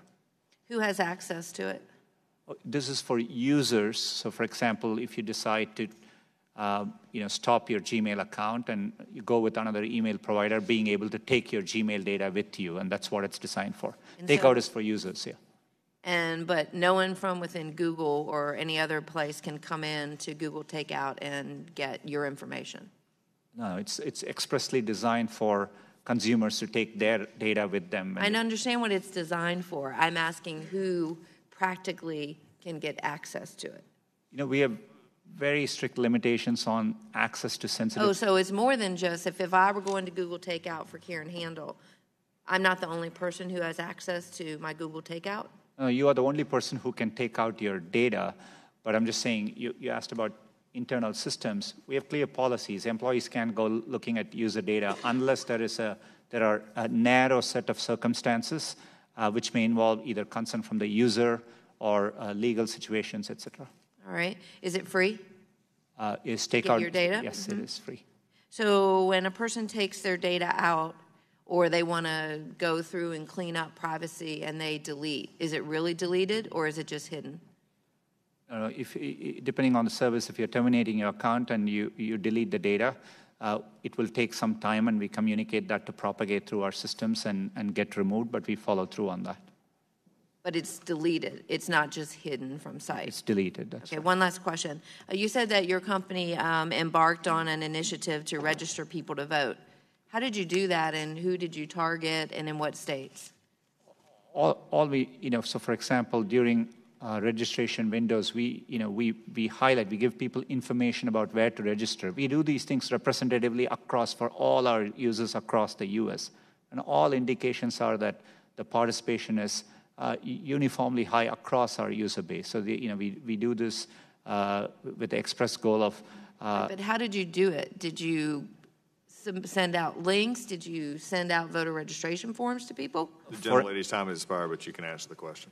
Thank For example, on, on the Google homepage, we may say, check where your polling place is. And as a user, you can click on it, and we give you the location of your closest polling uh, locations and the opening times available to you. That's an I'll example. be following up on that. Thank you, Mr. Chairman. I yield. The chair now recognizes the gentlelady from Washington State, Ms. Jayapal. Thank you, Mr. Chairman, and thank you, Mr. Pichai, for coming to testify before us. I, for one, am thrilled that you as a company encourage people to vote. I think we should all do that. I'd love to see Election Day as a holiday. Um, I've been deeply concerned for some time about employers mandating forced arbitration rather than allowing for people to pursue justice. And forcing people into arbitration when they've already experienced a violation of their basic rights, I think, is a deep injustice, and it subjects people who have already been victimized to further victimization. And we've seen research that shows that it discourages people from coming forward to report abuses to begin with. Um, there are very successful companies in your field, including companies like Salesforce, that have thrived while foregoing for forced arbitration contracts and clauses. And I think that we can all agree that the argument that eliminating forced arbitration threatens innovation should be dismissed out of hand. Eliminating forced arbitration has been a shared priority by my colleagues on this committee, as evidenced by the fact that our ranking member, Jerry Nadler, as well as Hank Johnson, David Cicilline, and I have all introduced legislation to end the practice. And I was very heartened to see that Google ended forced arbitration, but only in the context of, of sexual harassment. And so I hope you agree with me that upholding people's fundamental right to safety in the workplace and freedom from discrimination, whether it's based on gender or sexual orientation or race or religion or any other metric, really benefits all of us. And so I wanted to point out that it's particularly critical for companies like Google to take that moral leadership in this space since there are limitations for affected people to pursue system wide change through tools like class action lawsuits. And I recognize that this is not exclusive to Google and that it extends to many, many other employers. But since you're here before the committee today, which has jurisdiction over this issue, I want to ask you if you will voluntarily commit to expanding the policy of ending forced arbitration for any violation of a person's rights, not just around sexual harassment, but really for all of your employers and your contractors. Congresswoman, uh, thanks for the question. It's an important area. Uh, one thing, if I could clarify, uh, today our arbitration agreements uh, don't require any confidentiality provisions. Uh, that's how we have done it. Uh, but, but as you as you mentioned, for sexual harassment, we, we agreed that it should be up to the employees, and we gave them a choice. We are definitely looking into this further. It's an area where I've gotten feedback personally from our employees. So we are definitely reviewing what we could do, and you know, I'm, I'm, I'm looking forward to consulting and, and happy to think about more more changes here. Well, we'd love to work with you on that. I think that this really, for people who are listening to this hearing that may not understand this, basically, when you sign a contract, as um, we saw with sexual harassment, you some some employees don't even know what they're signing away, but they're signing away their ability to actually pursue claims in the justice system by going to forced arbitration. And so um, I think that this is very, very important. I think your point about confidentiality is important, but that's not the issue here. That is about transparency, but it's not about the basic right of somebody to seek access to due process and to justice in the courts. Um, so, what stage are you at in advancing the issue of ending forced arbitration, both on the sexual harassment side, but also in terms of the process for looking at it more broadly? How do we how do we have a timeline? How do we engage with you to uh, make sure that you endorse our legislation as we move forward in the next Congress? Uh, we've already, you know, we've we've already enacted the changes uh, for uh, forced arbitration for uh, giving arbitration as an option uh, for employees for sexual harassment. We are definitely reviewing what more we could do in this area. I'm definitely happy to have uh, my office follow up as they're Great. thinking about it to get uh, get your thoughts on it, and we are definitely committed to looking into this more and uh, making changes. Thank you. Um, the other uh, issue I wanted to just raise in my last minute is moderating hate speech, and this has come up in a number of different ways, and we appreciate the work that you have done, particularly with YouTube. I know we had uh, Alex Jones in the room earlier, um, but I think you know, promoting conspiracy theories that are patently false and result in real harm is a problem. Do you agree with the UN High Commissioner for Human Rights assessment that social media played a role, for example, in perpetuating, perpetuating genocide against the Rohingya? And what is Google's responsibility to moderate hate speech on, on your platforms? We feel a tremendous sense of responsibility to uh, moderate hate speech. Uh, you know, define, we've defined hate speech clearly as inciting violence or uh, hatred towards groups of people. It's absolutely something which I think we need to take a very strict line on, and and uh, we've stated our policies clearly, and we are working hard to make our enforcement better. And, and we have gotten a lot better, and, but it's not enough, and so we are committed to doing more here. Well, we really look forward to working with you on that. And uh, before I yield back, Mr. Chairman, let me just take a point of personal privilege to say I was born in the same state as you in India, and I'm excited to see you leading a company and ha- continuing to show that immigrants to this country contribute great value in spite of some of the rhetoric we hear. Thank you, Mr. Pichai. I yield back. Gentleman's lady, gentlelady's time has expired. The now chair recognizes the gentleman from Pennsylvania, Mr. Rothfus.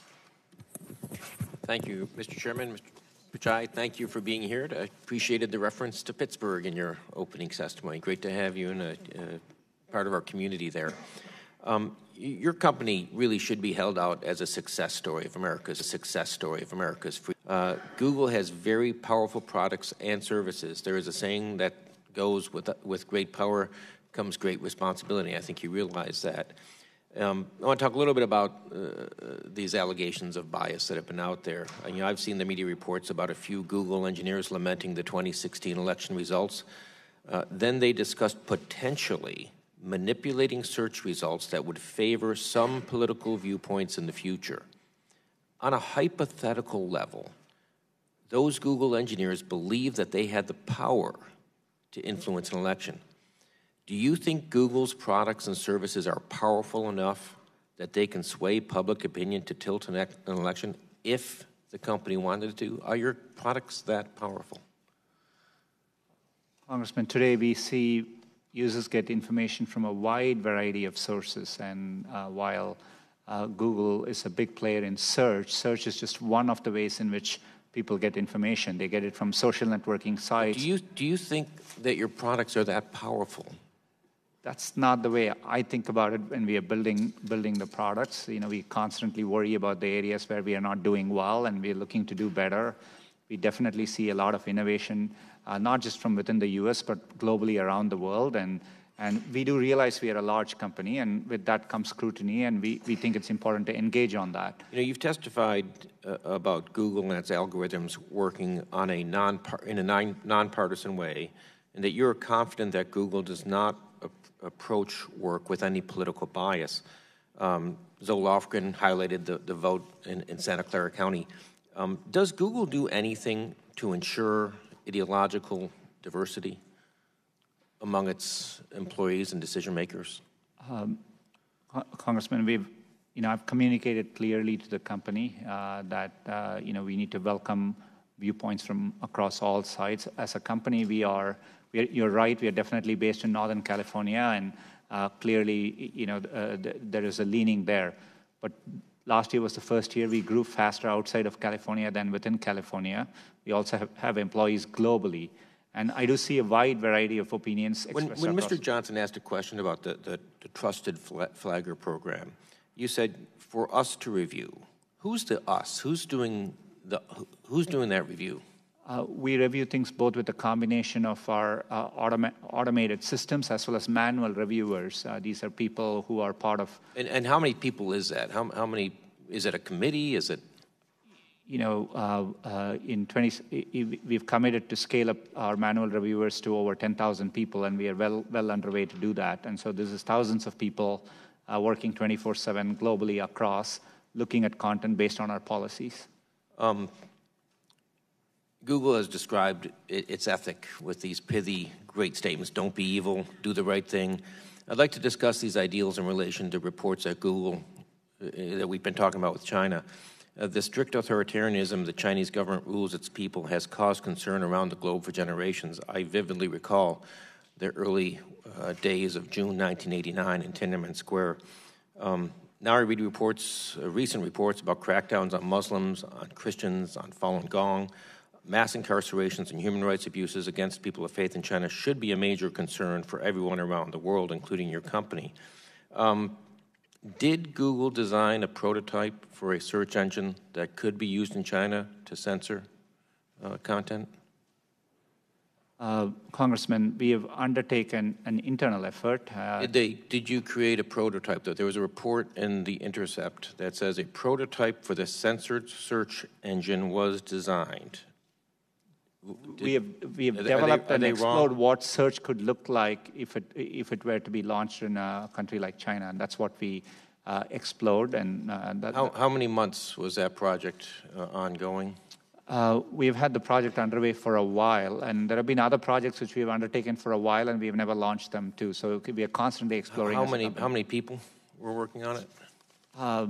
Uh, the estimates, uh, you know, uh, sorry, the number of engineers on the project have varied over time. At Ten. One, uh, at one point, we have had over 100 people working on it. It's my understanding. Um, I just want to echo what uh, my colleague, Ms. Jayapal, had, had said you know, yeah, I'm glad you're here at the committee, but I'm, I'm glad you're here in our country. Um, um, you are the success story, and I can just think of you sitting as a teenager in India, thinking that this was probably never even on your, your radar. Um, but you came to this country uh, because this country had that promise out there. And I want to thank you for being here today and uh, encourage you to continue collaborating with this committee. Thank you. Gentleman's time has expired. The chair now recognizes the gentlelady from Florida, Ms. Demings. Thank you so much, uh, Mr. Chairman and Mr. Pichai. I'm here. Thank you so much for uh, being here and enduring uh, all that we have heard and seen today. As you know, uh, Google certainly has significant influence over the dissemination of information to the American people. Uh, you have the ability to mold and shape uh, how we think, the decisions we make, what we buy. Um, but let me just remind you and others that um, America, with all of its greatness, has enough problems. And we have to make sure that the gift of Google um, is used, um, the service that you provide is a responsible one. Uh, in your own statement, you said that the American people have the ability to use technology to improve their lives. So that tells me Google helps to solve problems, not create problems. My concern specifically centers around the protection of the consumers. Um, because Google certainly would not be anything without the consumer. So the protection of the data, their information, the uh, uh, the level of service that you provide. And I know we've talked a lot today about uh, data collection and how it's used, and if the settings are uh, in place, then it's not collected. So let me just understand, really starting with the chairman's questions, which I thought uh, was a, a good opening for us. If a consumer tells you, not to collect their data, then you do not collect the data. Is that correct? That's, that's right. Okay. And how does uh, Google, or does Google allow advertisers to target ads based on sensitive factors like race, ethnicity, religious affiliation? Uh, currently, we don't have uh, those, uh, the ones you mentioned as uh, factors in our advertising product. Okay, and what is your policy regarding predatory advertisements? You know, we, we have strict policies against, and you know, we, we respond to con- uh, concerns there. We have undertaken significant changes to the extent we find predatory practices on our platform. So it's an area we are committed to doing better. And since we do represent everybody, poor communities as well as affluent communities, how do you make sure that the information that is received in at risk communities uh, protects the consumer, if you will? How are they treated the same in terms of affluent versus poor communities? How do you make sure that they are?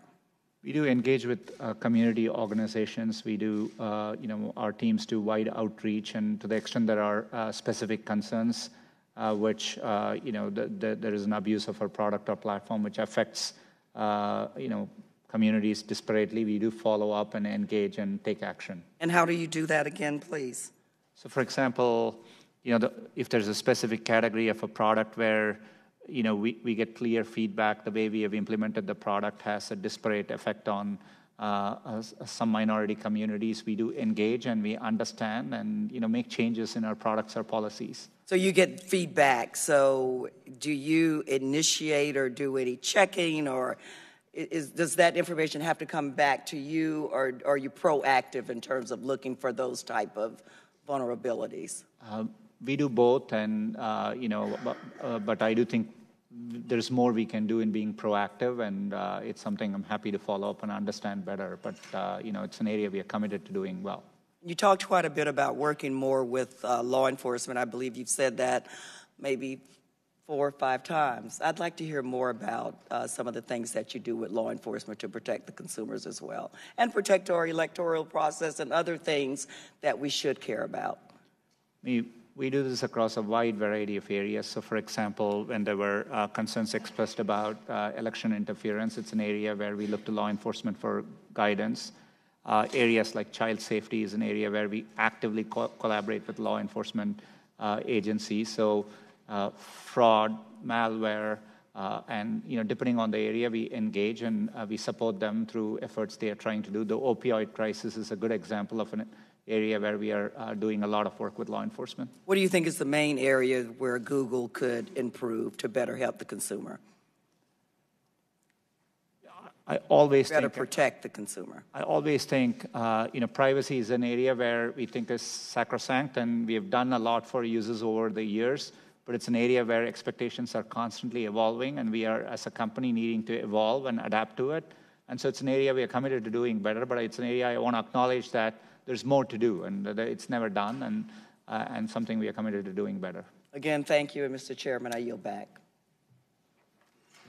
Gentlelady yields back. The chair now recognizes the uh, gentleman from Texas, Mr. Gohmert, for five minutes. Mr. Pichai, appreciate your being here. And uh, I think most all of us agree on both sides. Uh, we applaud great work. Uh, for example, Steven Spielberg, despite politics, he's provided my family a lot of enjoyment and entertainment.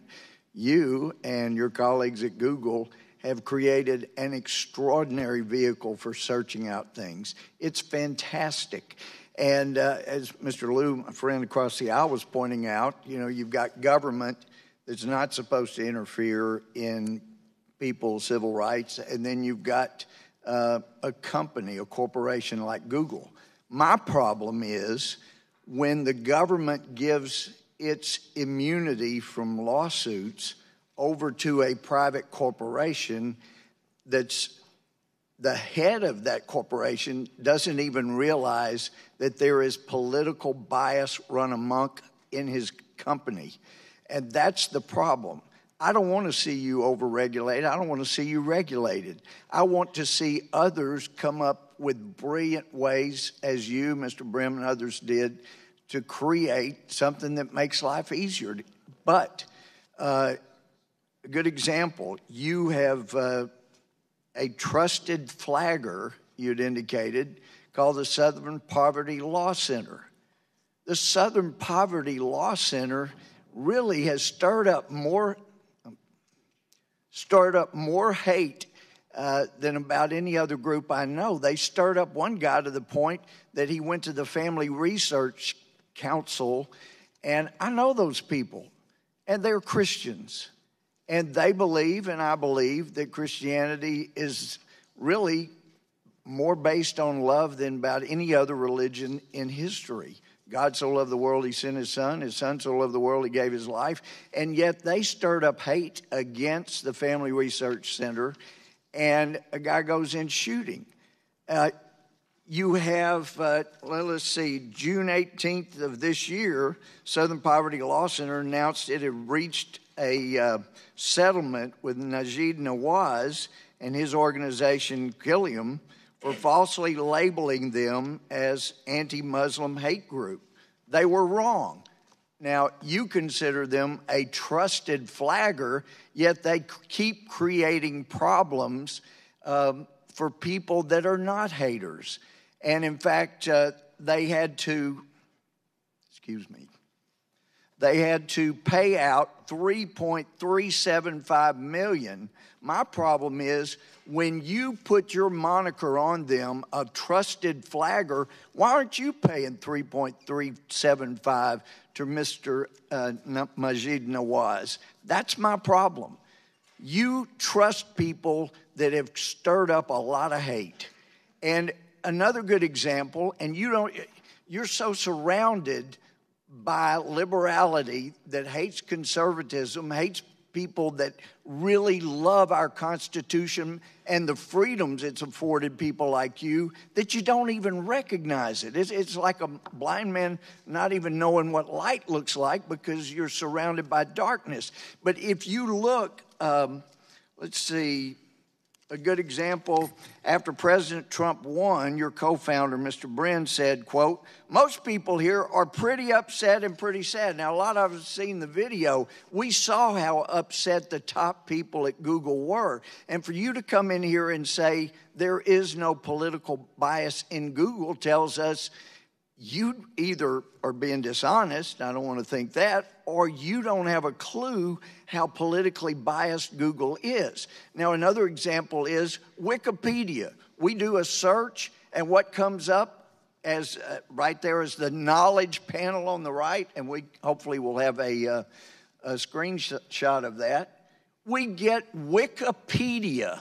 My chief of staff went on, she told me, uh, every night for two weeks and put proper, honest information in with proper annotations, and Wikipedia's liberal editors around the world would knock it out every day and ch- instead put up a bunch of garbage like Mark Levin has now been facing. Yet to you, they get a trusted spot. And when Wikipedia slanders or libels someone, and you're the one that has trusted them above any other entity, you ought to be liable. You ought to be liable when the SPLC is liable. You ought to be liable when uh, Wikipedia demeans and uses their political bias. And I hope and encourage you to look around and notice you run off conservatives, you embrace liberals, and it's time Google was actually not immune so that people can hold you accountable and get a little better objectivity. I see my time's run out. I yield back.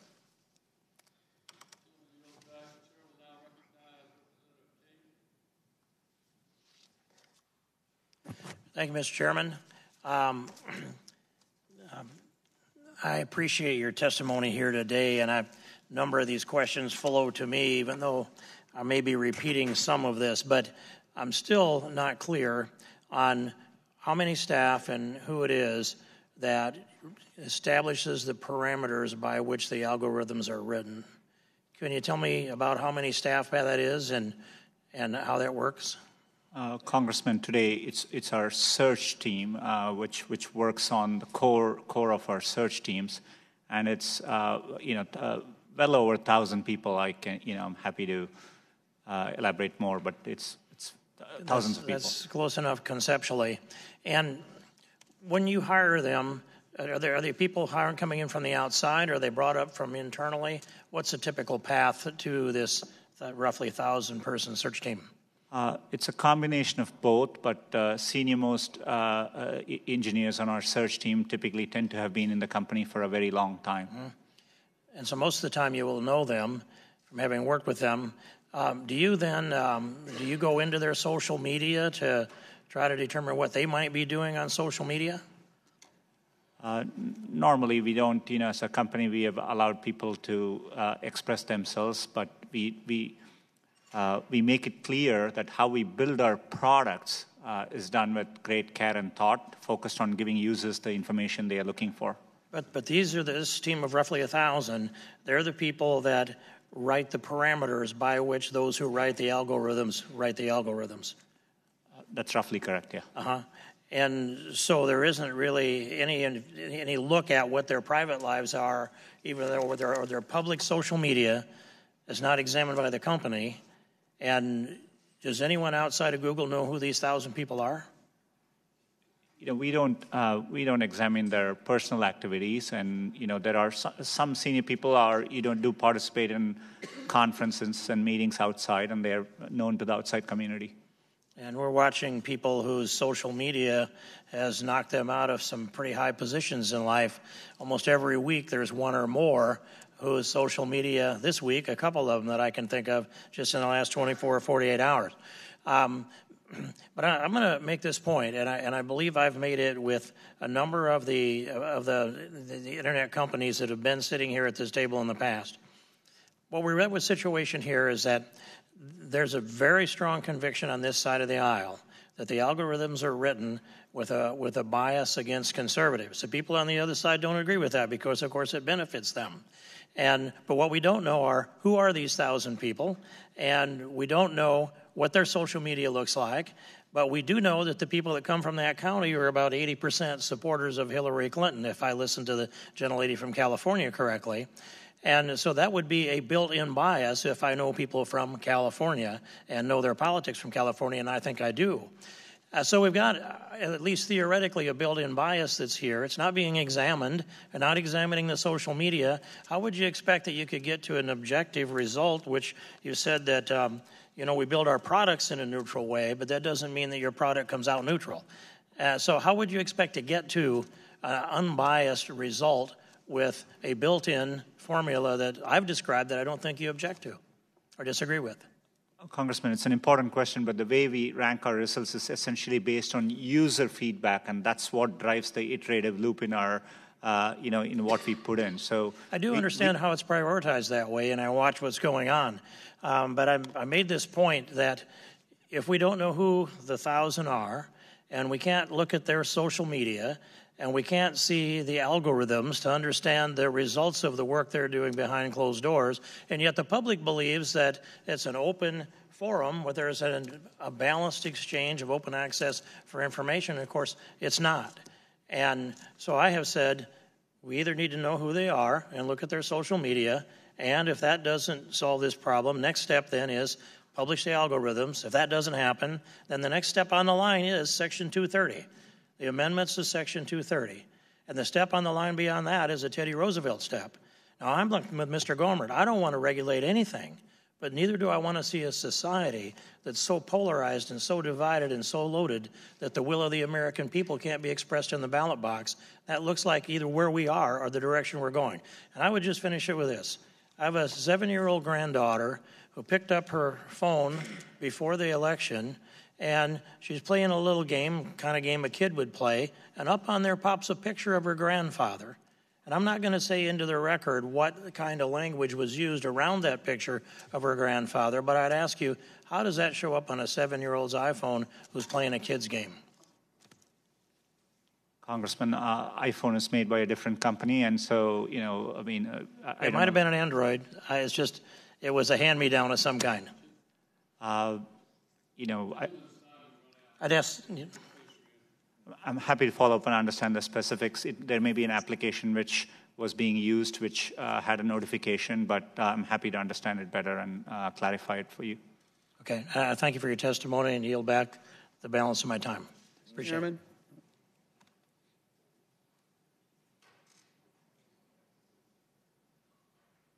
Mr. Chairman.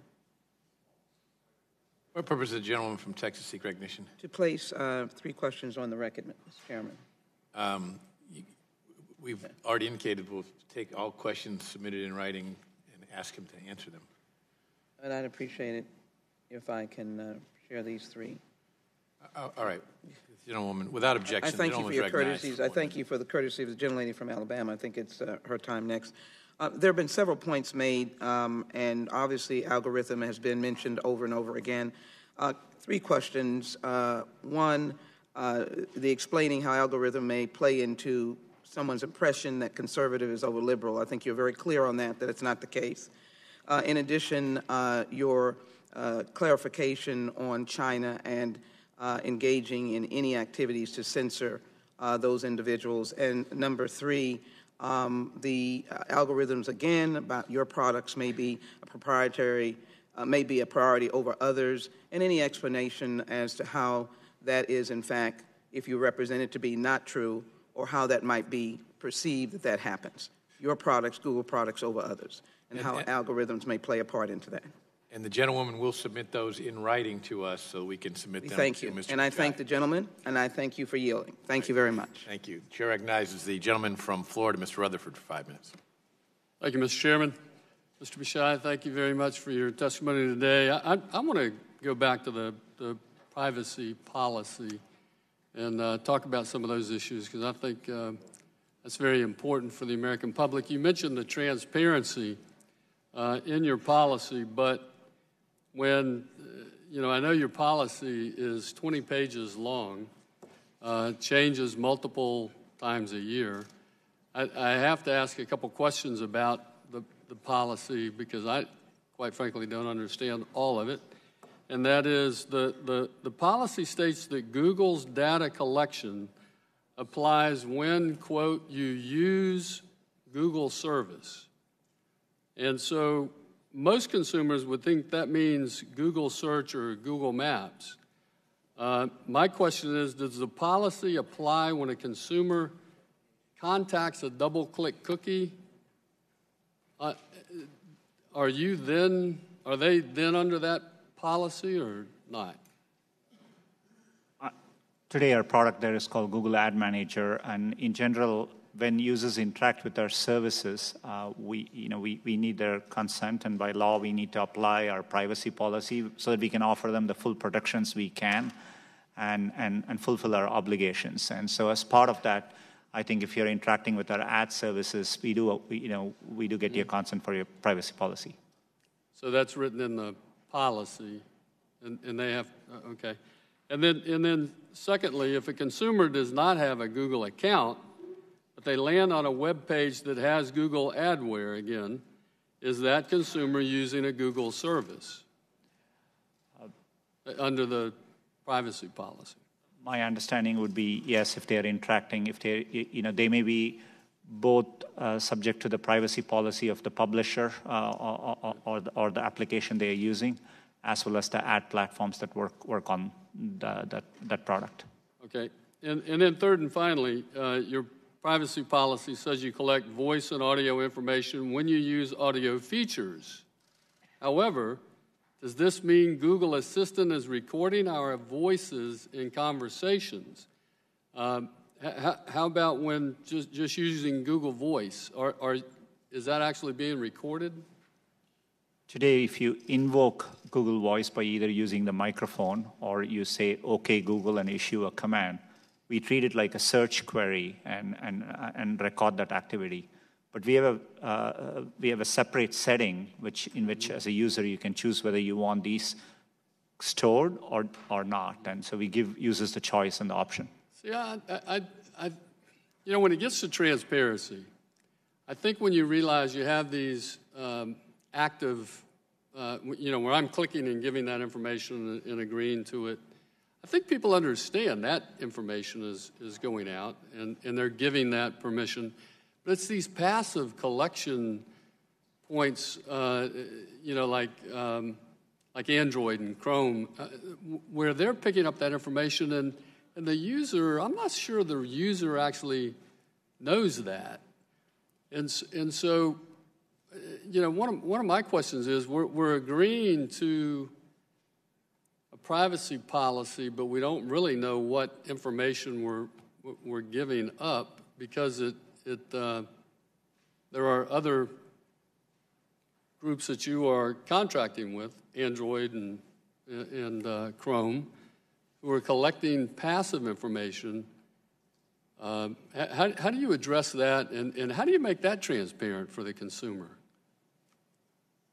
Congressman, we realize privacy policy alone is, uh, you know, is not enough. This is why we prompt and give privacy checkups. Right, We've, right. we have so, so, so let, let, let me stop you there and ask you then, because, that, you know, is it possible for, for Google to send me a, a, a, printout of all the information that they have collected on me within the last month and, you know, where I've been, what, what, where I've clicked, where, is all that information, you have all that information, it could be provided to me, right? We, we do make it available to you very easily. Uh, you know, we want we are concerned about the security of the data, so we don't you know uh, Right. uh, casually get it out. But but right. you- so, so, so I would ask if, if, because I'm running out of time, but instead of in, instead of me as a consumer or anyone as a consumer giving you the the privacy right up front, well, why don't you why don't you be more honest with me? Tell me exactly what information has been collected, what information you want to share, and then allow me to decide how much of that information I would like to share as a consumer. Uh, Congressman, I agree with that sentiment. In fact, what we precisely do is actually we are very transparent and like we make it very easy. You go to your account settings, we clearly tell the categories, and you can click and see the information we have. You can turn it on or off. But we want to do better, and Yeah, know, but there are areas where information is being collected, even if I have, I have the particular sites turned off, there's still information being collected through some of these other passive systems that you that you've contracted with, correct? we we are pretty explicit about data which we collect, and we give protections for you to turn them on or off. And even when you use a product like Chrome or uh, Gmail, you know, we, we or Google Home, we are very clear about the data we collect, and we reflect it back to the user, the data we have on them, and uh, and we try to be transparent. I, I can just say, and um, my time's out, but I, I would tell you this: I would much rather be giving permission after I know what information I'm I'm giving up. So, thank you very much again, and I appreciate your time. I yield back, Mr. Chairman. Chair, thanks, gentleman. Recognizes the gentlewoman from Alabama, Ms. Roby, for five minutes. Thank you, Mr. Chairman. Thank you. I'm just going to build upon what my colleague was just talking about and use a specific example. In June of 2016, um, Google changed its privacy policy to allow for combining the DoubleClick cookie information with, quote, personal identifiable information. Um, before this change, the cookies that track people across the web were not melded with other um, consumer information Google got from searches or Android phone use. Um, and it's my understanding that when Google uh, purchased DoubleClick, um, representations were made that Google would keep um, the data separate. The point here is you've heard from many people concerns today about the consumer and what the consumer knows. And I understand there's a personal responsibility as a consumer to do my part to try to understand this. Um, but it's also very complicated stuff. And so um, I, I want to point to something positive that Google is doing. Uh, in March, um, you had the online safety roadshow that came through Alabama's second congressional district to a middle school, uh, Girard Middle School in Dothan.